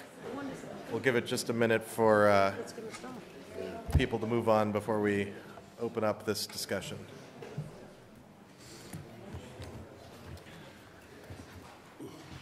Excuse me. Thought everybody was Bye, here for the everybody. beer garden. Uh, Adam, you're up. Oh, sorry, did I? Oh. Are you here for the beer garden? Yes. All right, I uh, I going think. to I'm- give an introduction, I'm Oh, sorry. Yeah, yeah, Sorry, sorry. exactly, yep. Um, that- Thank you, Mr. Chairman. So I just, I want to give a a brief overview and then let uh, the board discuss with the the proponent uh, of the concept, uh, who uh, I think have several representatives here tonight. So, uh, the Economic Development Coordinator, Ali Carter, has been working on this for some time uh, with Aeronaut Brewery, with the concept being opening a weekend beer garden at Whittemore Park on Saturdays and Sundays, July through September. Um, The idea would be to attract, you know, both Arlington residents as well as visitors, those riding down the bike path to Arlington Center, hopefully enjoy um, uh, some beer with Aeronaut, and then also patronize uh, other local businesses in Arlington Center. The strategy um, for considering this before the board that the chair and I discussed was to have a discussion regarding this tonight, and then come back and ask for final approval, and ans- hopefully answer any questions or address any concerns that might be raised by the board at the next board's meeting on 625. Uh, Understanding this is new, different, um, and would be a change from how the town has generally done things. Uh, In the board's packet, uh, there was a memo outlining um, the vision or the idea, the hours of operation, as well as the security plan. I also want to mention that I left on the board's table some uh, supplemental information. There were letters of support from local uh, organizations, businesses, and residents uh, on the board's uh, desk. There was a supplementary memorandum from Ali Carter uh, mentioning that one of the dates would coincide with Town Day, and though that wouldn't have to be um, voted on by the board tonight or at the next meeting, um, Aeronaut's plan would be to move and replicate the beer garden like it did at Town Day last year, except on David Lamson Way, as opposed to being on Whittemore Park. Uh, There's also uh, a packet that shows um, sort of the advertising that Aeronaut does to promote a similar event they do in Allston, as well as some pictures attached to that packet of sort of how it looks and how, how it shakes out in Boston. And then finally, a draft of a survey that Ali would like to use to really s- measure how successful this uh, beer garden is to try to achieve the goal of attracting people down into Arlington. So I think that's the general, general overview. Um, I fully acknowledge this is sort of very, very new for Arlington, but I also think, I, I've been saying to people that there's always a lot of desire for bringing people into town, into the center to patronize businesses, and that we have to consider new and innovative things to try to get people into town. So um, acknowledging both of those, I, um, that, that's what I have to say, and then Cool. happy to answer any questions the board might have. All right. Uh, And so, gentlemen, want to speak, you're with Aeronaut, is that it? You want to introduce yourself and just briefly see if anything that Adam missed? Yes, uh, my name is Ron Friedlander. I'm a co-founder and owner of Aeronaut. Um, that hit on much more detail than I was planning to uh, go into, so that's great. Uh, I was just going to describe a little bit. Um, so we're in Somerville, Massachusetts. Um, I was going to read our, our mission statement to give you a sense of, I mean, obviously we make beer, but um, we're a brewery and community space based in Somerville, Massachusetts. We exist to push the boundaries of beer through fearless recipe design powered by house cultured fermentations. Our mission is to brew world class beer, amplify the voice of our community, and support arts and culture. And so we have a big, big part of what we do is community, arts, and culture in addition to beer. We do that at our Somerville tap room. We're open seven days a week there. And five nights a week or so, we do um, music, live music.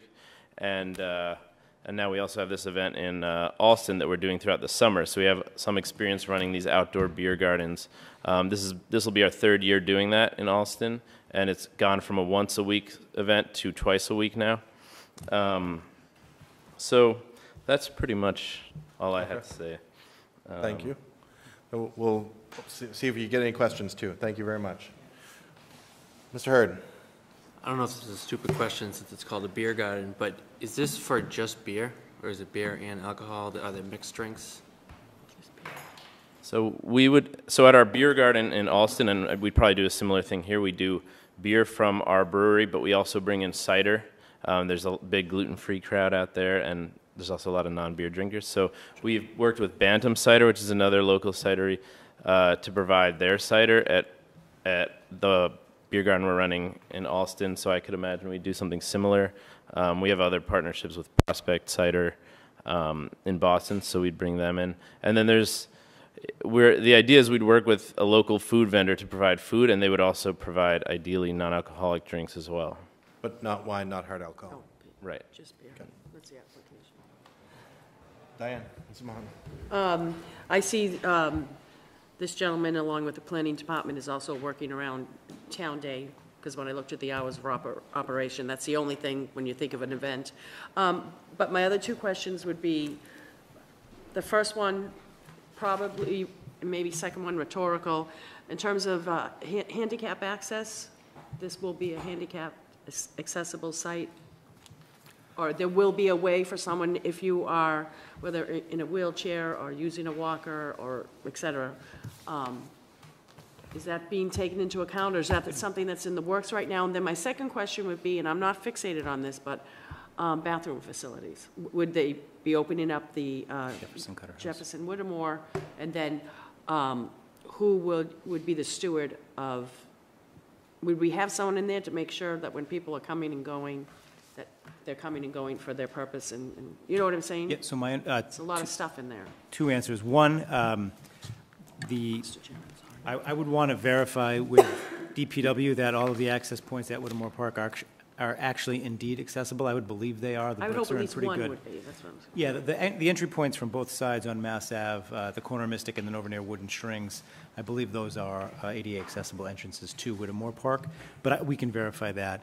In terms of the bathrooms, y- yes, we'll be opening up the Jefferson Cutter House for bathrooms, and I think the specific details yet to be worked out, but we would either uh, ask Aeronaut to pay for a building monitor fee for us to staff the bathrooms, or in lieu of that, have one of their staff monitor the bathrooms. So we would have a, a human monitoring that usage. Thank you, Mr. Chairman. Mr. Curro? So I have a, a few thoughts on this. Um, Interesting thing on, uh, on this, I mean, I got more um, correspondence, I got a phone call from a constituent, like, a lot of times, folks don't call, they'll email now all the time. I got a lot of Um, Facebook messages. Yeah, yeah, yeah. Um, So I know that there are some concerns on one side, and then on the other side, there are, there are a number of folks who are very interested to see something like this um, come in. I know there are some concerns with, um, you know, wh- what is the potential impact on potentially competing local um, bu- businesses? So I heard you talk about working with local f- food vendors. I mean, the original memo we got talked about a, a food truck, but I'm, I'm sure that, you know, we would have a, I don't want to speak for everyone, but there'd be a preference to try to work with our, our local um, uh, v- vendors. I, I was wondering, have you been in touch with any of our local uh, food vendors? or- Uh, yeah. So uh, yeah, in the original memo, it showed food trucks. We'd actually prefer to have local food vendors, ideally setting up like a tent and a table for food service, depending on how that works with with the health department. But um, it would be more integrated. It would be a better way to showcase local food, and we are sensitive to the concerns about. Uh, anything being competitive to local businesses, we don't really want to do that. We're mostly interested in running the event, selling beer, that kind of thing. Um, so we did reach out uh, to Emily here at um, the Kickstand Cafe. Uh, we want to continue that conversation uh, with more vendors uh, and see who's interested in possibly maybe on a monthly basis doing um, one or two local food vendors in the beer garden itself. Um, yeah. Okay. Uh, I have, I have a few more questions. It looks like you have a lot of, uh, a lot of musical acts that you work with. Yes. So the, the uh, proposal uh, involves having the music the, the entire time that the, the garden is, is operational? Yeah, I, ideally we would have music every day that we're running. Yeah. Probably not throughout, not the full seven or eight hours, but it would probably be a few sets. Um, and the way we do it now is uh, in Allston we're open. Say on Fridays we're open from five to eleven. It's a, it's an evening beer garden, so it's a little different. But um, we'll have two or three musical acts during that time. Each one will play for an hour, and they're kind of spaced out. So it's kind of something to come for, something to check out, but it's not a constant thing. Okay. Well, I only ask because I think that if we're able, the more we're able to um, promote this as a cultural event sponsored by Aeronaut, um, I, I think the, the, the better, in my view, better it fits into our cultural district push and, and, and, um, and all of that. Um, The, the other question I had is, um, uh, I'm happy to see the, the, the, on the one hand, the proposal to restrict access, uh, and we're always concerned about that, about access to um, alcohol by underage, because The flip side of that, though, is it looks like the, the proposal as it stands right now is to cordon off all of Whittemore Park so that uh, no one under 21 can come in without um, an adult. And um, I'm wondering if we could think about um, having one corner of the park be an all-ages zone. I mean, I- I'd hate to have, um, you know, high school, and I don't know how this has worked for you in Allston, I'd hate to have, you know, high school students not be able to come to the, the concerts and listen to them because, because of the concerns with, with, with the alcohol. And I wonder if the checkpoint could be moved in a little bit from the, from the entrance to the park so that it would be possible to listen to the music, um, use the same system, wristbands and such. I mean, obviously, you see the cups on the, on the wrong side of that cordon, you, you know that there's a problem. But Yeah, I don't know it's if there any thoughts on that. Thought. So for us, you know, we're looking to make sure we're not serving anyone underage. That's our primary concern. Yeah. Um, you know, we do that at our brewery. The way we typically ensure that is because we do let people in with parents um, if they're under 21. The way we typically do that is we have wristbands. So we wristband everyone who comes in who has a positive ID, and anyone who doesn't uh, or who's with a, a parent that we allow in will have like an under 21 wristband. We've had events that we've done on site where we've let in, specifically let in under 21 people with wristbands, but it requires a lot more security and monitoring because you have to kind of be really checking who's, you know, not only who has a wristband, but whether they're sharing drinks with someone or if they're taking off their wristbands. So we do, we can't avoid the idea of creating this barrier around the drinking area. I'm pretty sure that's a, an ABCC Yeah, requirement. no, no, yeah, and I think we'd want the barrier, but, but if you could move the checkpoint in, so that, let's say, for example, kickstands in there with a tent, you know, the teenagers want to come in and buy a coffee and listen to the music, they, they can still do that, um, without going into that, that, the, the actual beer garden area. I know it's logistics, I'm not looking for an answer here, it's just, it's just a thought that I, uh, that, that crossed my mind.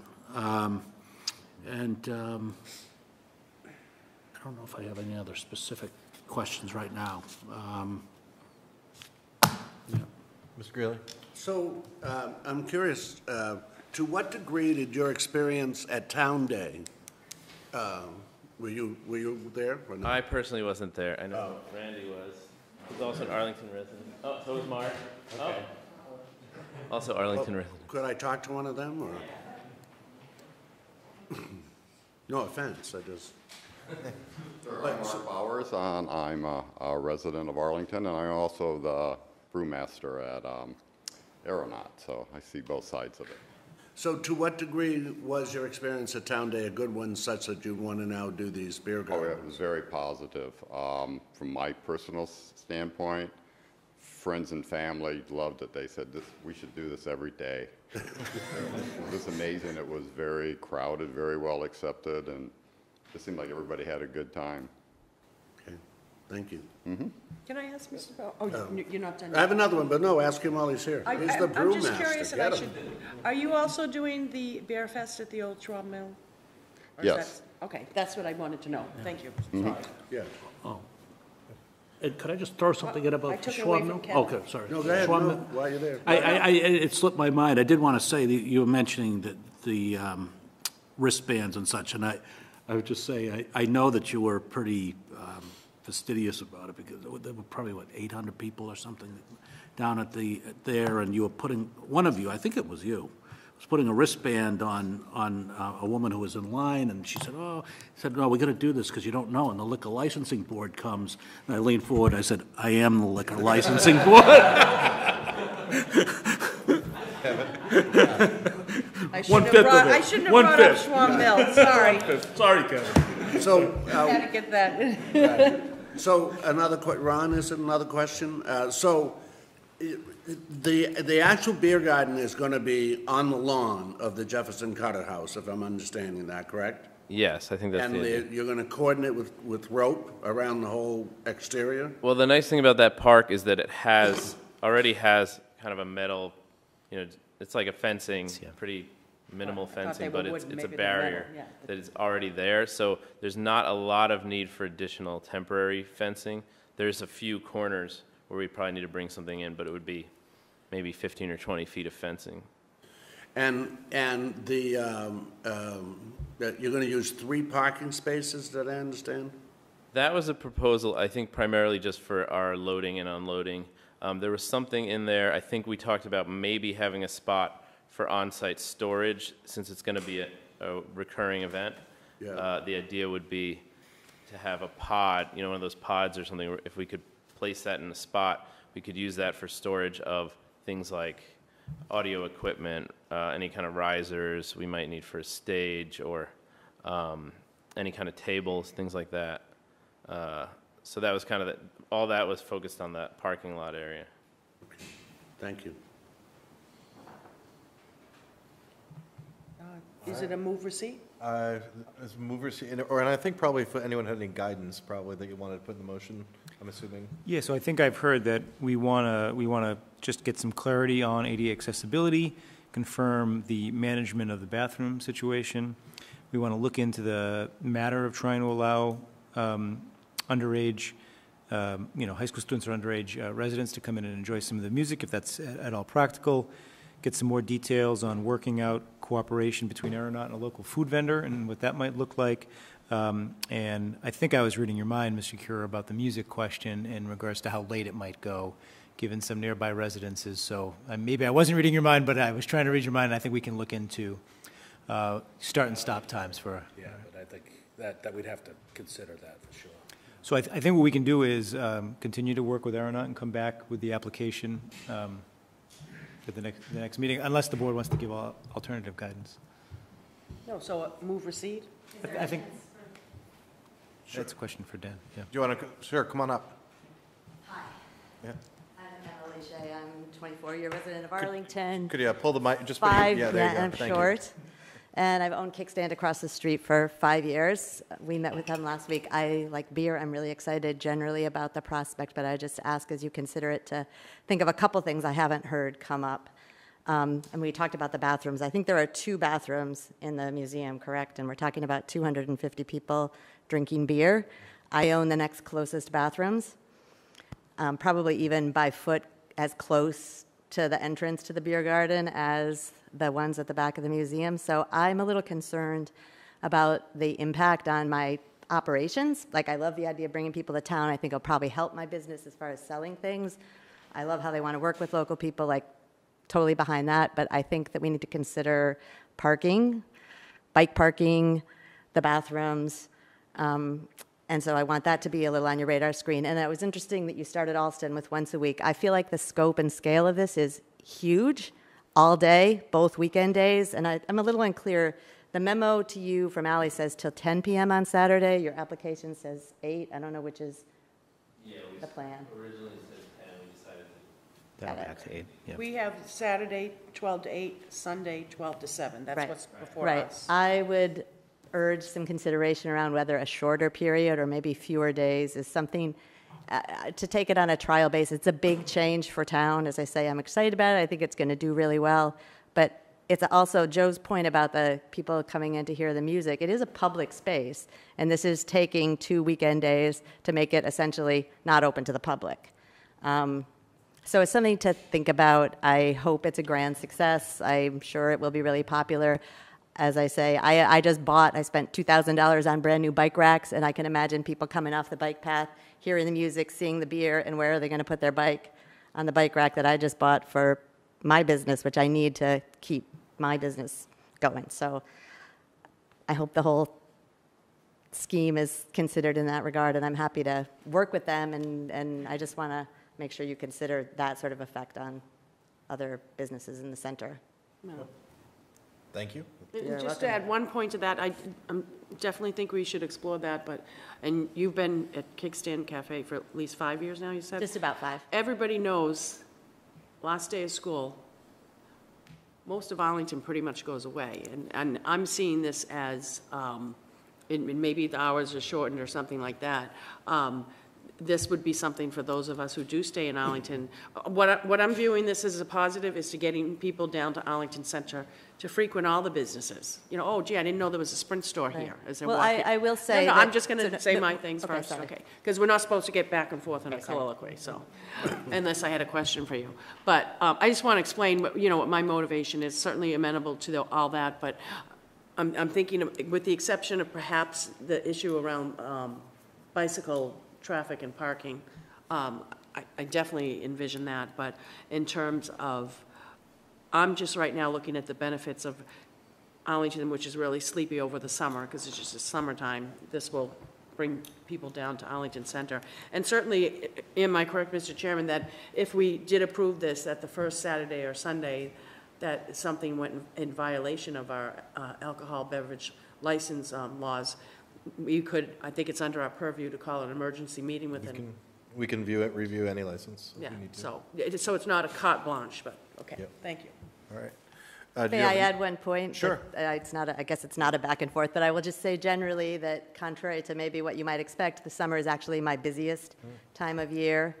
And it's Saturday and Sunday is when I do most of my business in the summer, and it's kind of what our lifeblood while we get off the bike path and having access to it, so. It's not 8 AM when I have my meetings in your, in your front. Is that- yeah? So, so, you're- are you in favor of this or no? I I'm in favor of it, but I am in, Okay. I- I'm in, I'm not actually, let me, I'm not completely in favor of it as applied for. I'm in favor of the concept. I think it's too broad and too, uh, it- that we should move more slowly and explore how it works for everybody. But yes, generally, totally behind the idea.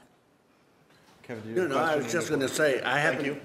I haven't been able to find a seat in kickstand on a Saturday or Sunday. Just wait till all those people from the beer garden are sitting. Right, so good. Yeah, exactly. All right, thank you. Thanks. Sorry. Was there anyone else? Mr. Dosha?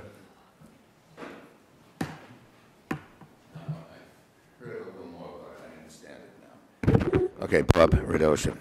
Is that on? Yeah, I guess so. Uh, Some points, I don't expect you to have the answers, but I want to at least get, the- get it out. Now, um, I can't, what does that say? Oh, the barrier, uh, half those rails aren't in all the time anyway around the street, so that'll have to be addressed. I think you'll probably find two or three missing or bent over or something. Anyhow, um, that- that's fine. Now, the hours of the music, will that go much beyond 9 o'clock, or is that, no? No. Because it'll be over before the end of the. Over by eight. By Eight 8? on Saturday, seven on Sunday. Okay, that's, uh, those are the hours, okay. Now, is that going to be acoustical or uh, amplified? Amplified. Amplified, okay.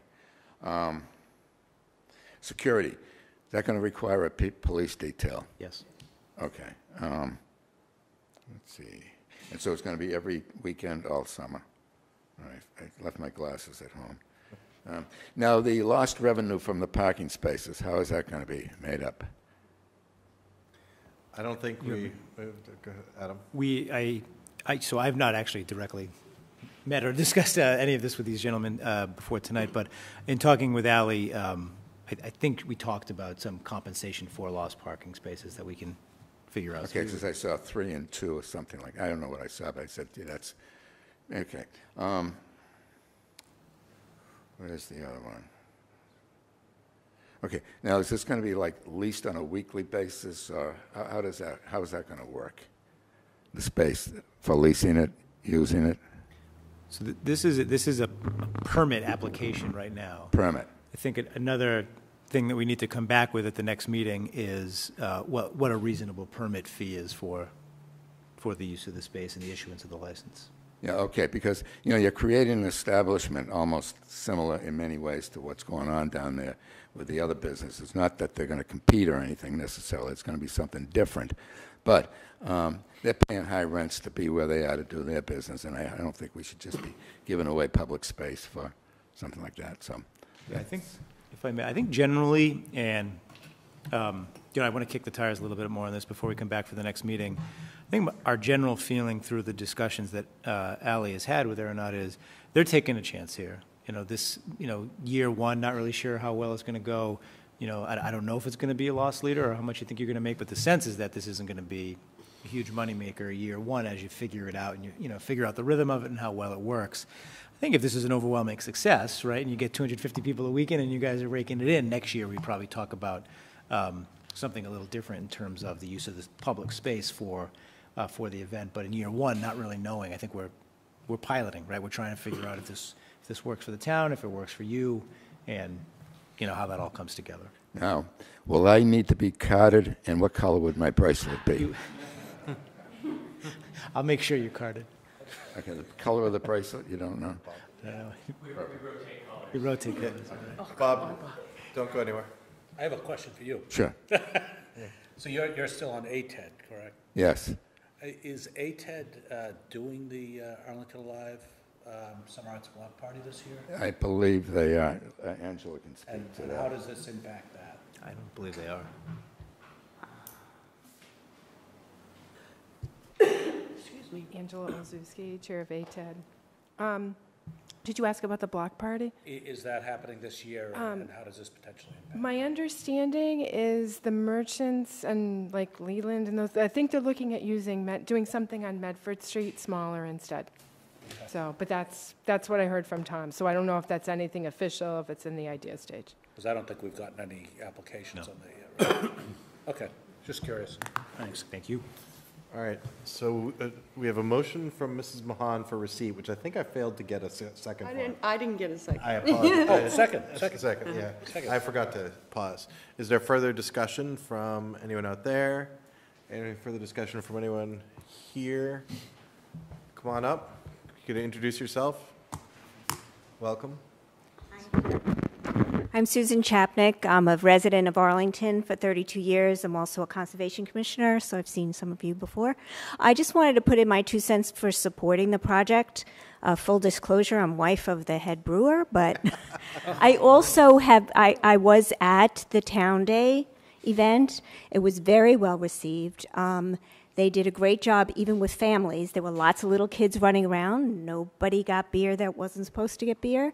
They were very serious about putting the bands on and checking IDs. Um, and it was it was a fun event.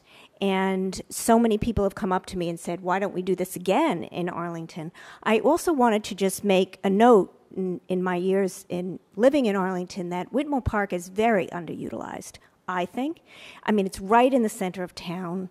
Um, you, you see a few kids running on the tracks occasionally, but otherwise, it's really very, very poorly utilized unless we have an event there. And we've done some musical events that have been, you know, nice and they've gotten a small turnout. But this is a way to really get people down into the center, I think, for a cultural and, and beer and fun event in the summer um, that can use an under, underutilized public space. So. Thank you. Mr. Curro. I, I just want to note, I don't think that's just anecdotal, what you say either, because there's a pro, a project right now that the planning department is driving around reactivating Whittemore Park, and the survey they did for that, I, I believe the number one use was just cutting through. There was no, there was no active use, yeah, so. All right. We've got a motion by Mrs. Mahan, seconded by Mr. Curro for receipt. Any further discussion? All those in favor, please say aye. Aye. Opposed? Five zero. Okay. Oh my gosh, my thing. Mr. Chapdelaine, C- CP CPAC vacancy. Thank you, Mr. Chairman. So I had requested this agenda item last week uh, in order to ask the board to authorize the posting of the CPA vacancy or C- uh, CPA committee vacancy that was created when Clarissa Rowe left the committee several months ago. Uh, Since last week, I, or actually just this morning, I learned that another um, at-large committee member, Andrew Bankston, an appointee of the Board of Selectmen, is moving to, uh, just bought a house uh, with his family in Medford, so he's leaving town and will need to leave the committee.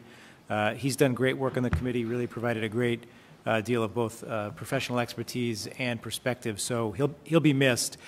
But the, the timing is good that I now am going to be asking you to authorize me to post two vacancies that uh, we would uh, post for about a month, and then, as we've done in the past, uh, I would collaborate, uh, if you cho- so choose, Mr. Chair, to uh, work with you, screen those resumes, uh, interview candidates, probably also, excuse me, collaborate with the chair of the CPA, and then come back with two recommended appointments to the Board of Selectmen, uh, hopefully before the planning season kicks off in September. Move approval to post those two vacancies.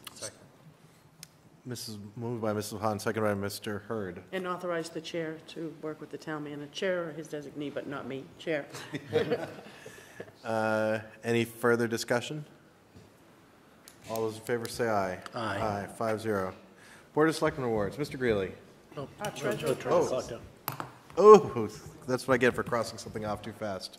Treasurer process, thank you. I'll be really quick. Yeah, exactly. Um, Thank you, Mr. Chairman. So, as the board uh, is aware, uh, the current treasurer, Dean Carman, has submitted notice of his plan to resign upon the selection of a replacement to serve as treasurer-collector. As the board is also aware, the ballot question passed to move the position from elected to an appointed position. Uh, There's still more work to do to update the Town Manager Act, the town bylaws, and any other uh, pertinent document um, regarding the town's governance. Uh, But in the absence of those updates, the statutory default for the replacement of, um, of a treasurer collector when the position is moved from elected to appointed and the seat is vacated before the expiration of that initial term, take a breath, um, the Board of Selectmen is the default appointing authority. So what I have provided to the board uh, for their consideration tonight is a proposed process uh, for the search, screening, and recruitment of a new treasurer collector. And um, with the board's approval, uh, we would post, uh, post that, we'd post the job description as has also been provided to the board tonight, and begin that screening and recruitment process. Mrs. Mon?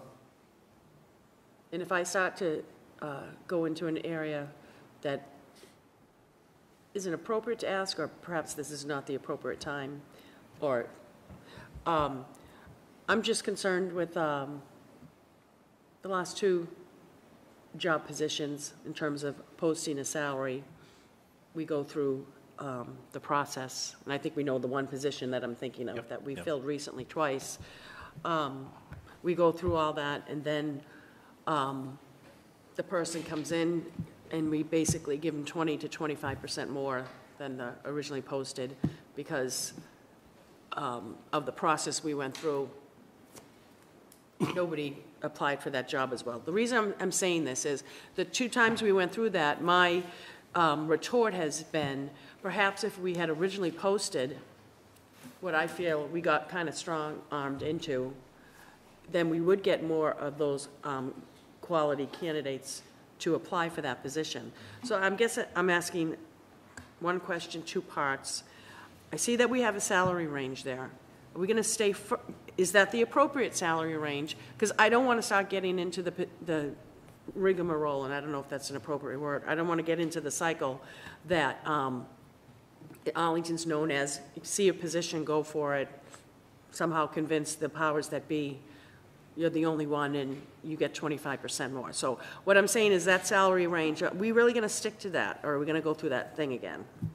So, so what it says here is that we would post entrance to midpoint of the M2 range uh, with potential growth to the maximum, which is that $134,000 amount. So if you're saying, would we stick to the midpoint? Is that what you're asking as the Uh, What max? I'm saying is, can, is that what you want to post it at?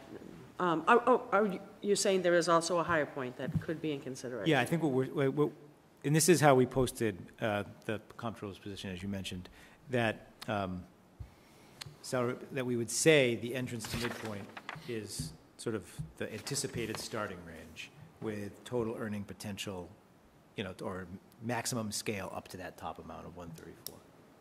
I think that's how we posted the comptroller the past two times.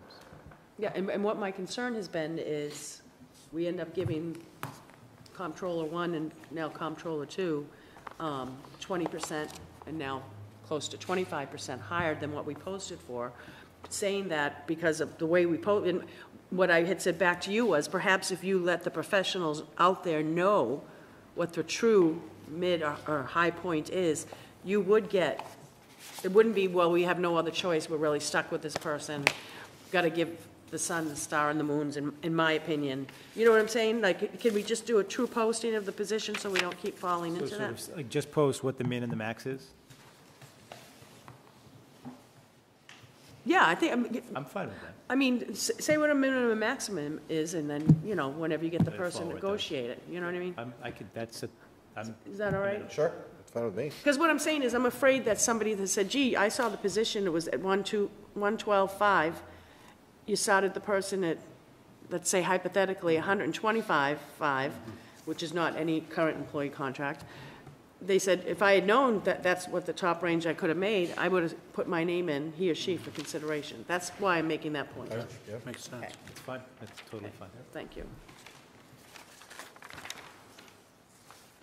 Mr. Greeley? Yep. Um, Just under the, um, this is the job description, right? Uh, And it's on page two. Uh, Serves as the town's parking clerk, reviews parking ticket appeals and writing blah, blah, blah. I'd like to make that clear, that's as appointed by the Board of Selectmen. I think we should, yeah, that's a good, well, we can make that amendment. Thank you. Um, My thought on this is, uh, seeing no other raised hands, uh, if we were advanced in time a little bit, this would be a town manager appointment, and it would not be a selectman's appointment, and this really is, this person, whoever it is, is going to be a member of this finance team that we're building under uh, the deputy town manager, uh, uh, you know, AKA the finance director.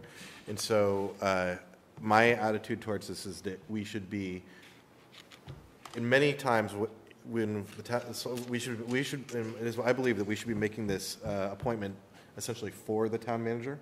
There are many times when the board of selectmen is the appointing authority, and we're the ones who should be you know should be making the decision with you know consent and help from professional. But in this case, I'm actually suggesting that we should be inverting, and I should think we should be deferring because if we were we were a year away from away from now, we would be in that position, and I feel like we should act that way so the manager can you know build the team that he wants. So I guess I'm asking my colleagues, you know, before, when they make their motion to have that, you know, if you're saying designate the chair, that's the attitude that I'm going into, and I'd like your, uh, your support of that, you know, if nothing else. And I'm seeing heads mostly going up and down. Yeah, well, I- Okay.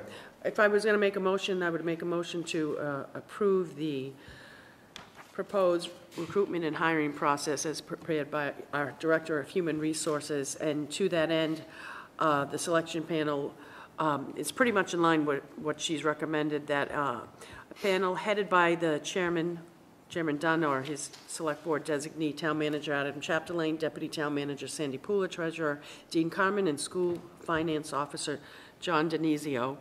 And then I'm also uh, saying from this to also appoint Karen Malloy in her capacity as Human Resource Director, and I believe that would be an ex officio capacity. She fa- She facilitates the process. Right, so, the so there would be only five voting members, and the head of this panel would be um, the chair, Mr. Dunn, or his designee.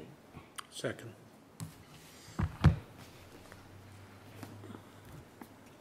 How do people feel about it? No, um, that's exactly. Makes sense. She had lead, and we just, I just changed the word lead to head. Yeah, no, I'm. Can you ask if anyone in the audience? wants No, to- you- Yeah. okay. Any further discussion? All right, s- uh, Ms. motion by Mrs. Pond, second by Mr. Guerrero. All those in favor, please say aye. Aye. Aye. Five zero. Now, Board of Selectmen awards, Mr. Greeley. Uh, So do you have this in front of you, or I'm supposed to hand them out, I guess? Supposed to hand them out. Adam, his is, uh, so um, I asked for this to be put on the agenda, and if you look at this, this is from uh, 2013, in which we actually made the awards on June 27th, so. All right. We're a little behind, uh, mayhaps, uh, but who cares? It's just, uh, the tradition has been every five years. And the way that we've done it before, if this board wants to support that again, is each of us at the next meeting would come in with a name that we appoint to a committee, a nominating committee, that would accept applications for each of these five different awards, which I'll go through in a moment. Then they make recommendations to us, but they are only recommendations. We have the final vote. We can accept uh, that those that they have recommended, we can add to, or whatever is, is the board's uh, pleasure. Uh, And so there's five different awards, and uh, we will be starting this process, so we want to start to get some advertising out there. There's what's called the Cyrus Dallin Award, uh, and it's uh, for citizens of Arlington that made significant contributions to the civic and cultural life of the community. the Joseph P. Greeley Outstanding Town Employee Award, um, as described, um, an an outstanding town employee or department. Any of these can be an individual or department. The Robbins Award, uh, uh, there uh, is outstanding and significant contributions in service and leadership in the areas of social, cultural, educational, political, or religious activities. Good Citizen Award for outstanding volunteer service, and the Samuel Wilson Award uh, for considerable exceptional, exceptional and notable contributions to society in patriotism, business, youth, and government. So five areas, Cyrus Dallin, Joseph P. Greeley, Robbins Award, Good Citizen Award, the Samuel A. Wilson Award. And that can be an individual, it can be, uh, in 2013, just as an example, the Cyrus Dallin Award was given to the Arlington Educational uh, Foundation and Jennifer Rothenberg. The Joseph P. Greeley Award was given to Shirley Dunton and Claire Roberts. The Robbins Award was given to Jane Howard and Bill Shea posthumously. The Good Citizen, Susan Dorson, Friends of Robbins Farm Park, Hil- Hillary Rappaport, and the Samuel Wilson went to the Arlington Finance Committee and John Worden III. So uh, I would like to move that at our next meeting, we each come in and uh, we form a uh, nominating committee. We then open nominations with a goal to, I'm thinking sometime in October, uh, that we would have an awards ceremony. That's my motion. I don't have a specific date yet, Second. but, And so questions or thoughts, or? just where, um, doing the timing, and I'm glad you say awards in October, um, would I anticipate that after our next meeting, which is June 26th, that we would advertise and put out the word to seek um, letters of recommendations or recommendations, and perhaps keep that open until Sep- mid-September? Right, like a or- month before. the Yeah, I just actual wanted to award make sure ceremony. that, you know, and I wasn't trying to be sarcastic saying Arlington goes away during the summer, but a- a great majority does, and I want to, okay, so that's fine. Yeah, that's- just want to say, I won't be at the next meeting, but I should, shall I just forward through the chair my nominee? Okay, Yeah, sure. Or through the office. I already have mine. yeah. I have mine too. I was slack. Can- Can we give ours tonight, or no, we can't? I thought, Uh, I mean, I think, y- y- we, I don't think we need to discuss them right now, but. okay, no, that's fine, all right. Well, it's fine with me, Mr. Chairman, if uh, either to you or to Marie, people give their nominees. Yeah. And we just approve the whole committee at the next Yeah, meeting. I think that makes sense. Good. Yeah. All I right, don't Do any, do you want to state yours now, or? I mean, No, no, no, because you know what, the way it's, it's printed on this agenda, it doesn't really look like that we're supposed to take, it just says approval, so. All right. yeah. Uh, I would just use it as someone I know I can't ask. Because I haven't gotten mine yet. Yeah. But, you know, maybe November, I, you know, I don't think we want to head too deep into November and the holidays or anything. I agree. Okay. Any further discussion? Motion by Mr. Greeley, seconded by Mrs. Mahan. All those in favor, please say aye. Aye. Aye. All right, setting a goal meeting date. Is there any chance we could do it on a Thursday night or That's something? what I said. Uh, Instead of Saturdays are Saturday? Oh, impossible. you said that to Yeah. me, sorry. Yeah, Uh, that we Any could do- chance we could do Diane's idea of a Thursday No, night? No, versus- Diane's big, big ass. Diane's begging. Yeah, big ass. Uh, Like a seven to nine or a six-thirty to eight-thirty Thursday night. I'd be fine with that. Yeah, I can do it. It's fine. You It's want to do a Saturday Saturday meeting, is Mr. what- Hurd? Yeah. They're so much fun. I can do it on a Saturday, but I'll have two kids with me. That's what, I mean, well, my grandkids, they don't, they Yeah. want me to quit being selectman because I can't come on Are you okay with Saturdays. it? I, I think, uh, given that I I'll also have a lot of two kids, valuable insight, Thursday though. actually has become a more, that, that's totally fine. All right. No, Uh, Thursday would be tough? No, No, not I said Better. Saturday has become much tougher with the two. Just kids one, one meeting, Right. or is it? Yeah, we do one meeting and we sit down and uh, we take the annual goals document, which at this point is merged of the selectmen and the town manager, and we go through it. And it generally, uh, and we adjust, like what the, we, we talk about what we, what we hit, what we didn't hit, and we also talk about things that are rising importance and things that are going down. And it ends up being a fairly like freewheeling discussion where we talk about like the shape of what we want the next year to be. And it's a, it's a pretty, um, we talk about everything. Like it's a really broad meeting. Like trying to do it, have we ever actually done it in two hours? I have each and every time, but I get an emergency phone call. Two, three hours. Yeah. Not gonna lie. I will say, I don't look forward to it every year, and I'm glad I did it every year. Uh, And as a matter of fact, last year I announced I'm leaving, so, and yet here I sit, so. You missed that goal, Kevin. Oh, you had us all, you had us all teary-eyed. And I was like, that's all right, we'll cross that bridge when we You get to it. babies wait for my announcement this year. You'll see what's going on. Uh, But no, seriously, it's, uh, I mean, it is, it's somewhat drudge, drudgery, uh, like, but it is always enlightening, and it always impresses me both what you, my colleagues, and uh, what Adam and his team accomplish. So what th- month, Yeah, Thursday? So can I push for two and a half hours, I think? Oh, I think three, don't you? I mean, something Ah! like, no, seriously, I- something like four to seven. The two, I'm not super. Well, can fan I, can I just say two and a half? Only because the other reason I didn't want it on a Saturday morning is we all come in sleepy, some, most of us come in sleepy-eyed, stagger in, grab our donut and a muffin and a coffee. I think if we have a Thursday night, we've already done our day, we're up to our power speed, and we're gonna, you know, get all the engines running at the same time. That's why, so, but beyond two and a half is, Could we make it a dinner? Yeah, I think something the same, I don't, that once before over in the Yeah. admin's office, and I fine, get cold cuts Friday. Yeah. Um, you could have it from four to seven, you could have it whatever. no, no, time no, four to decide. seven. can't be- No, unfortunately for me, no, I've- no, Uh, Yeah. Probably like six to nine no, or something. six-thirty to nine. yeah, six or six thirty, nine, something like Is that all right? Yeah. Okay, what month does Do we the have a chair? date? I'm gonna So see the- what, what- The first Thursday that I have an open evening is uh, July 12th. Wait, wait, that's your first evening you have I I just, available? there's like, I have events that the next three weeks. well, we usually do it in July anyways on a Saturday, so. I'll be back. Yeah, what's your next one after that? Nine- 19th.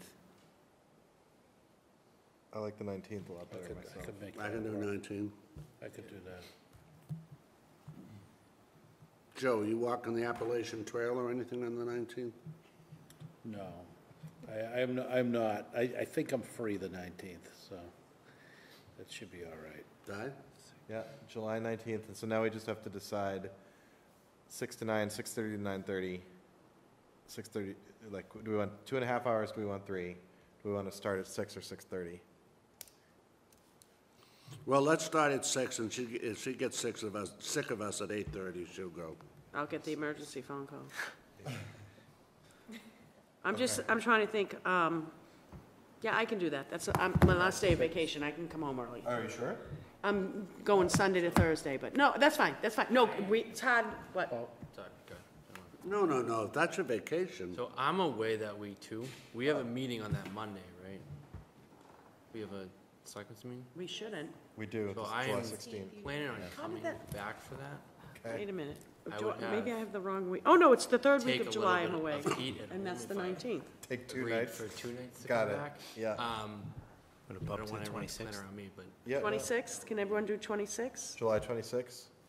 Yeah, that would, Wait, wait, Well, you that's a, would be- Wen- that's a Thursday? Yeah. that would probably even be better.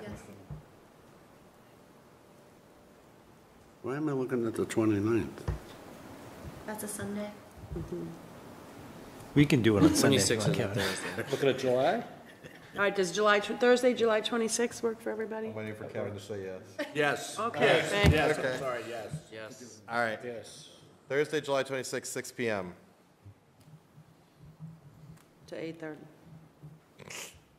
No, 6, just Six post it to for nine. 6. We're posting it for six. Yes, that's exactly. good. And then, That's usually, we nu- usually don't We post can- an end time. Our first goal will be to get out by first, yeah, exactly. All right, uh, Trouble sleeping till then. and- until then and immediately afterwards. Correspondence received, safety concerns and recommendations for the intersection of Gray, Quincy, and Fountain from Elizabeth Carr, and we have a aggressive, the police response from the dog complaint we heard earlier on Ronald Road. Uh, Move receipt and refer Elizabeth Carr Jones' uh, correspondence through the chair to the town manager to get, uh, get back the questions about the 25 mile per hour posting and all the other th- suggestions she had in there. Because TAC has already looked at this, it shouldn't go to TAC. So sh- it may actually, and she, Elizabeth Carr Jones would be the one to know. and Okay, it- she wants it may back, be yeah. in its time, because 13 years later, there may be some. That's true. New stuff. All right, we have a motion from Mrs. Mahanan uh, with some referrals, seconded by Mr. Hurd. Any further discussion? All those in favor, please say aye. Aye. New business. Mr. Krepelka, you, you need the mic if you don't, yeah, there you go. Is anyone planning on going Friday night to the ACMI Awards Night downstairs? I will not be there. It's Friday night at six. Let me, can I touch base with you tomorrow? Okay, yeah, I need to know tomorrow because you- they're gonna do a program on Wednesday. Anything That's all else? I have. That's it for me. Mrs. Ms. Mar? Nothing. Doug? Go to business. Well, sorry. Um, Very quickly, uh, I know uh, Mr. Curro was there, Climate Change Forum held tonight. There you go. I- Well, I'll, I'll, I'll quick to the punchline, as the board knows, and I think has been covered in local press. Based on those efforts, the town did receive a $399,000 grant for improvements along the Millbrook corridor, specifically at Wellington Park. So planning money that came via a grant, $23,000 planning grant that led to a four, nearly $400,000 implementation grant. So kudos to the staff in the planning department and all the members of the public who participated in that. Uh, Saturday, uh, this past Saturday, Porch Fest uh, was, uh, seemed to be a tremendous success, so hats off to the Arlington Center for the Arts and all the residents who hosted bands and all the bands who came out and played. I think it was the first year that they get the perfect weather day. It was Mm. just Oh, really awesome. a perfect weather day. It was a great, great day to be in and around the community. Uh, And then finally, I I think I had let the board know this via email, but two weeks ago, I went to the Mass Management Association's annual spring conference, and the presentation was on racial equity, uh, specifically focused on how that can be implemented or considered in local communities. And uh, I'm interested to talk to the board more about it, but I found it to be one of the most powerful, thought-provoking, and probably most uh, just informative presentations or workshops I've ever been to. Uh, Really, it's put together by the team from the National League of Cities who have a Race, Equity, and Leadership Division. Uh, And though some in the Mass Management Association were, you know, wondering why we should be talking about it, I think more people in the room really understood that it was long overdue to be talking about it. And I think it's also at the forefront of a lot of the dialogues we have here in Arlington. So look forward to bringing back more about that to the board at future meetings. So how, what should we look forward to? Is it going to be, is there, is there homework we should do, or are you going to give a presentation, or what's the right thing, do you think? Well, what I, I guess what I want to talk to the board about is, I definitely want to bring in training on issues of, you know, cultural competency or racial equity for town staff. What I want to talk to the board about is whether or not a more public process that includes the Board of Selectmen and commu- community participation is something that we want to take on. And we could actually maybe talk about that as part of the goal-setting session in July. Great. Cool. Anything else? That's all I have. Mr. Greeley? Uh, Nothing, sir. Mrs. Mahon? Nothing? Sure. Joe? None of business. Wow. Uh, Three things. Um. No, no, I have to move to go into executive session. after he does this. Uh, One, uh, so we appointed new, everybody got uh, liaisons, and Fran put them in the email, so everybody's got their liaison assignments and that stuff's available. Um, I just wanted to commend everybody, uh, inclu- in particular, uh, Director Junglo, Chunglo, excuse me, on a great Memorial Day, where we had fantastic Board of Selectmen attendance, among other things. But it was a really good ceremony, and I, uh, and I uh, really enjoyed it a lot. Um, And I also want to congratulate uh, the Rainbow Committee and uh, everybody who was involved in, um, you know, what was, I would say, I mean, in my experience, Arlington's largest pride ceremony that we've ever put together s- so far. And uh, I enjoyed, I thought the sidewalks were cool, you know, we got the flags, we got the colors, I think it was re- really good. And I want to thank everybody, and I guess the town manager, I know you did a lot of the coordination for some of that stuff too, so thank you as well. Um, That's it for new business. Mrs. Mahon. I'd like to make a motion that the board move into executive session to review the executive session minutes of April 9, 2018, April 23, 2018, and May 7, 2018, as well as to conduct a strategy session in preparation for negotiations with non-union personnel to wit town manager, and that when this board come out of, out of executive session, that we come back into open session to either A, take a public vote, and then um, make a motion to adjourn, or B, come back out into open session to make a motion to adjourn. Second. So we can do all that under one vote. Is that, Yes. that's good? Yes. Yes. Yes. Yes. Yes. Okay, so we're, uh, as we go into executive session, um, Mr. Chapdelaine is going to be invited to the section where we talk about the minutes, and then we're going to excuse him when we talk about the part about negotiation. Um, And so we are adjourned into executive session. Hey, um, ACMI, if you can hear me, we're to, we're adjourned now, but we are to come back uh, in a bit.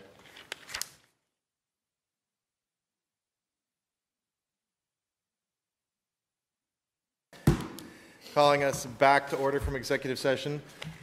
Uh, So we took two votes in executive session. One, we uh, took a number of our minutes for April 9th, May 7th. Was it just two? April 30th. Three. So I want to make a motion to make the executive session minutes of April 9, 2018, April 23rd, 2018, and May 7, 2018 to now be public, released as public minutes. Yeah.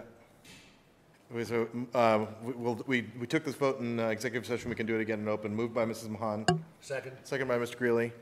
All those in favor, please say aye. Aye.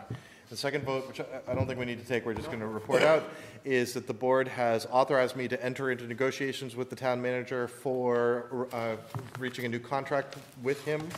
We note that uh, you know, his contract expires in February of this year, and we went to the town meeting to roll out. And now we're going to start that negotiation.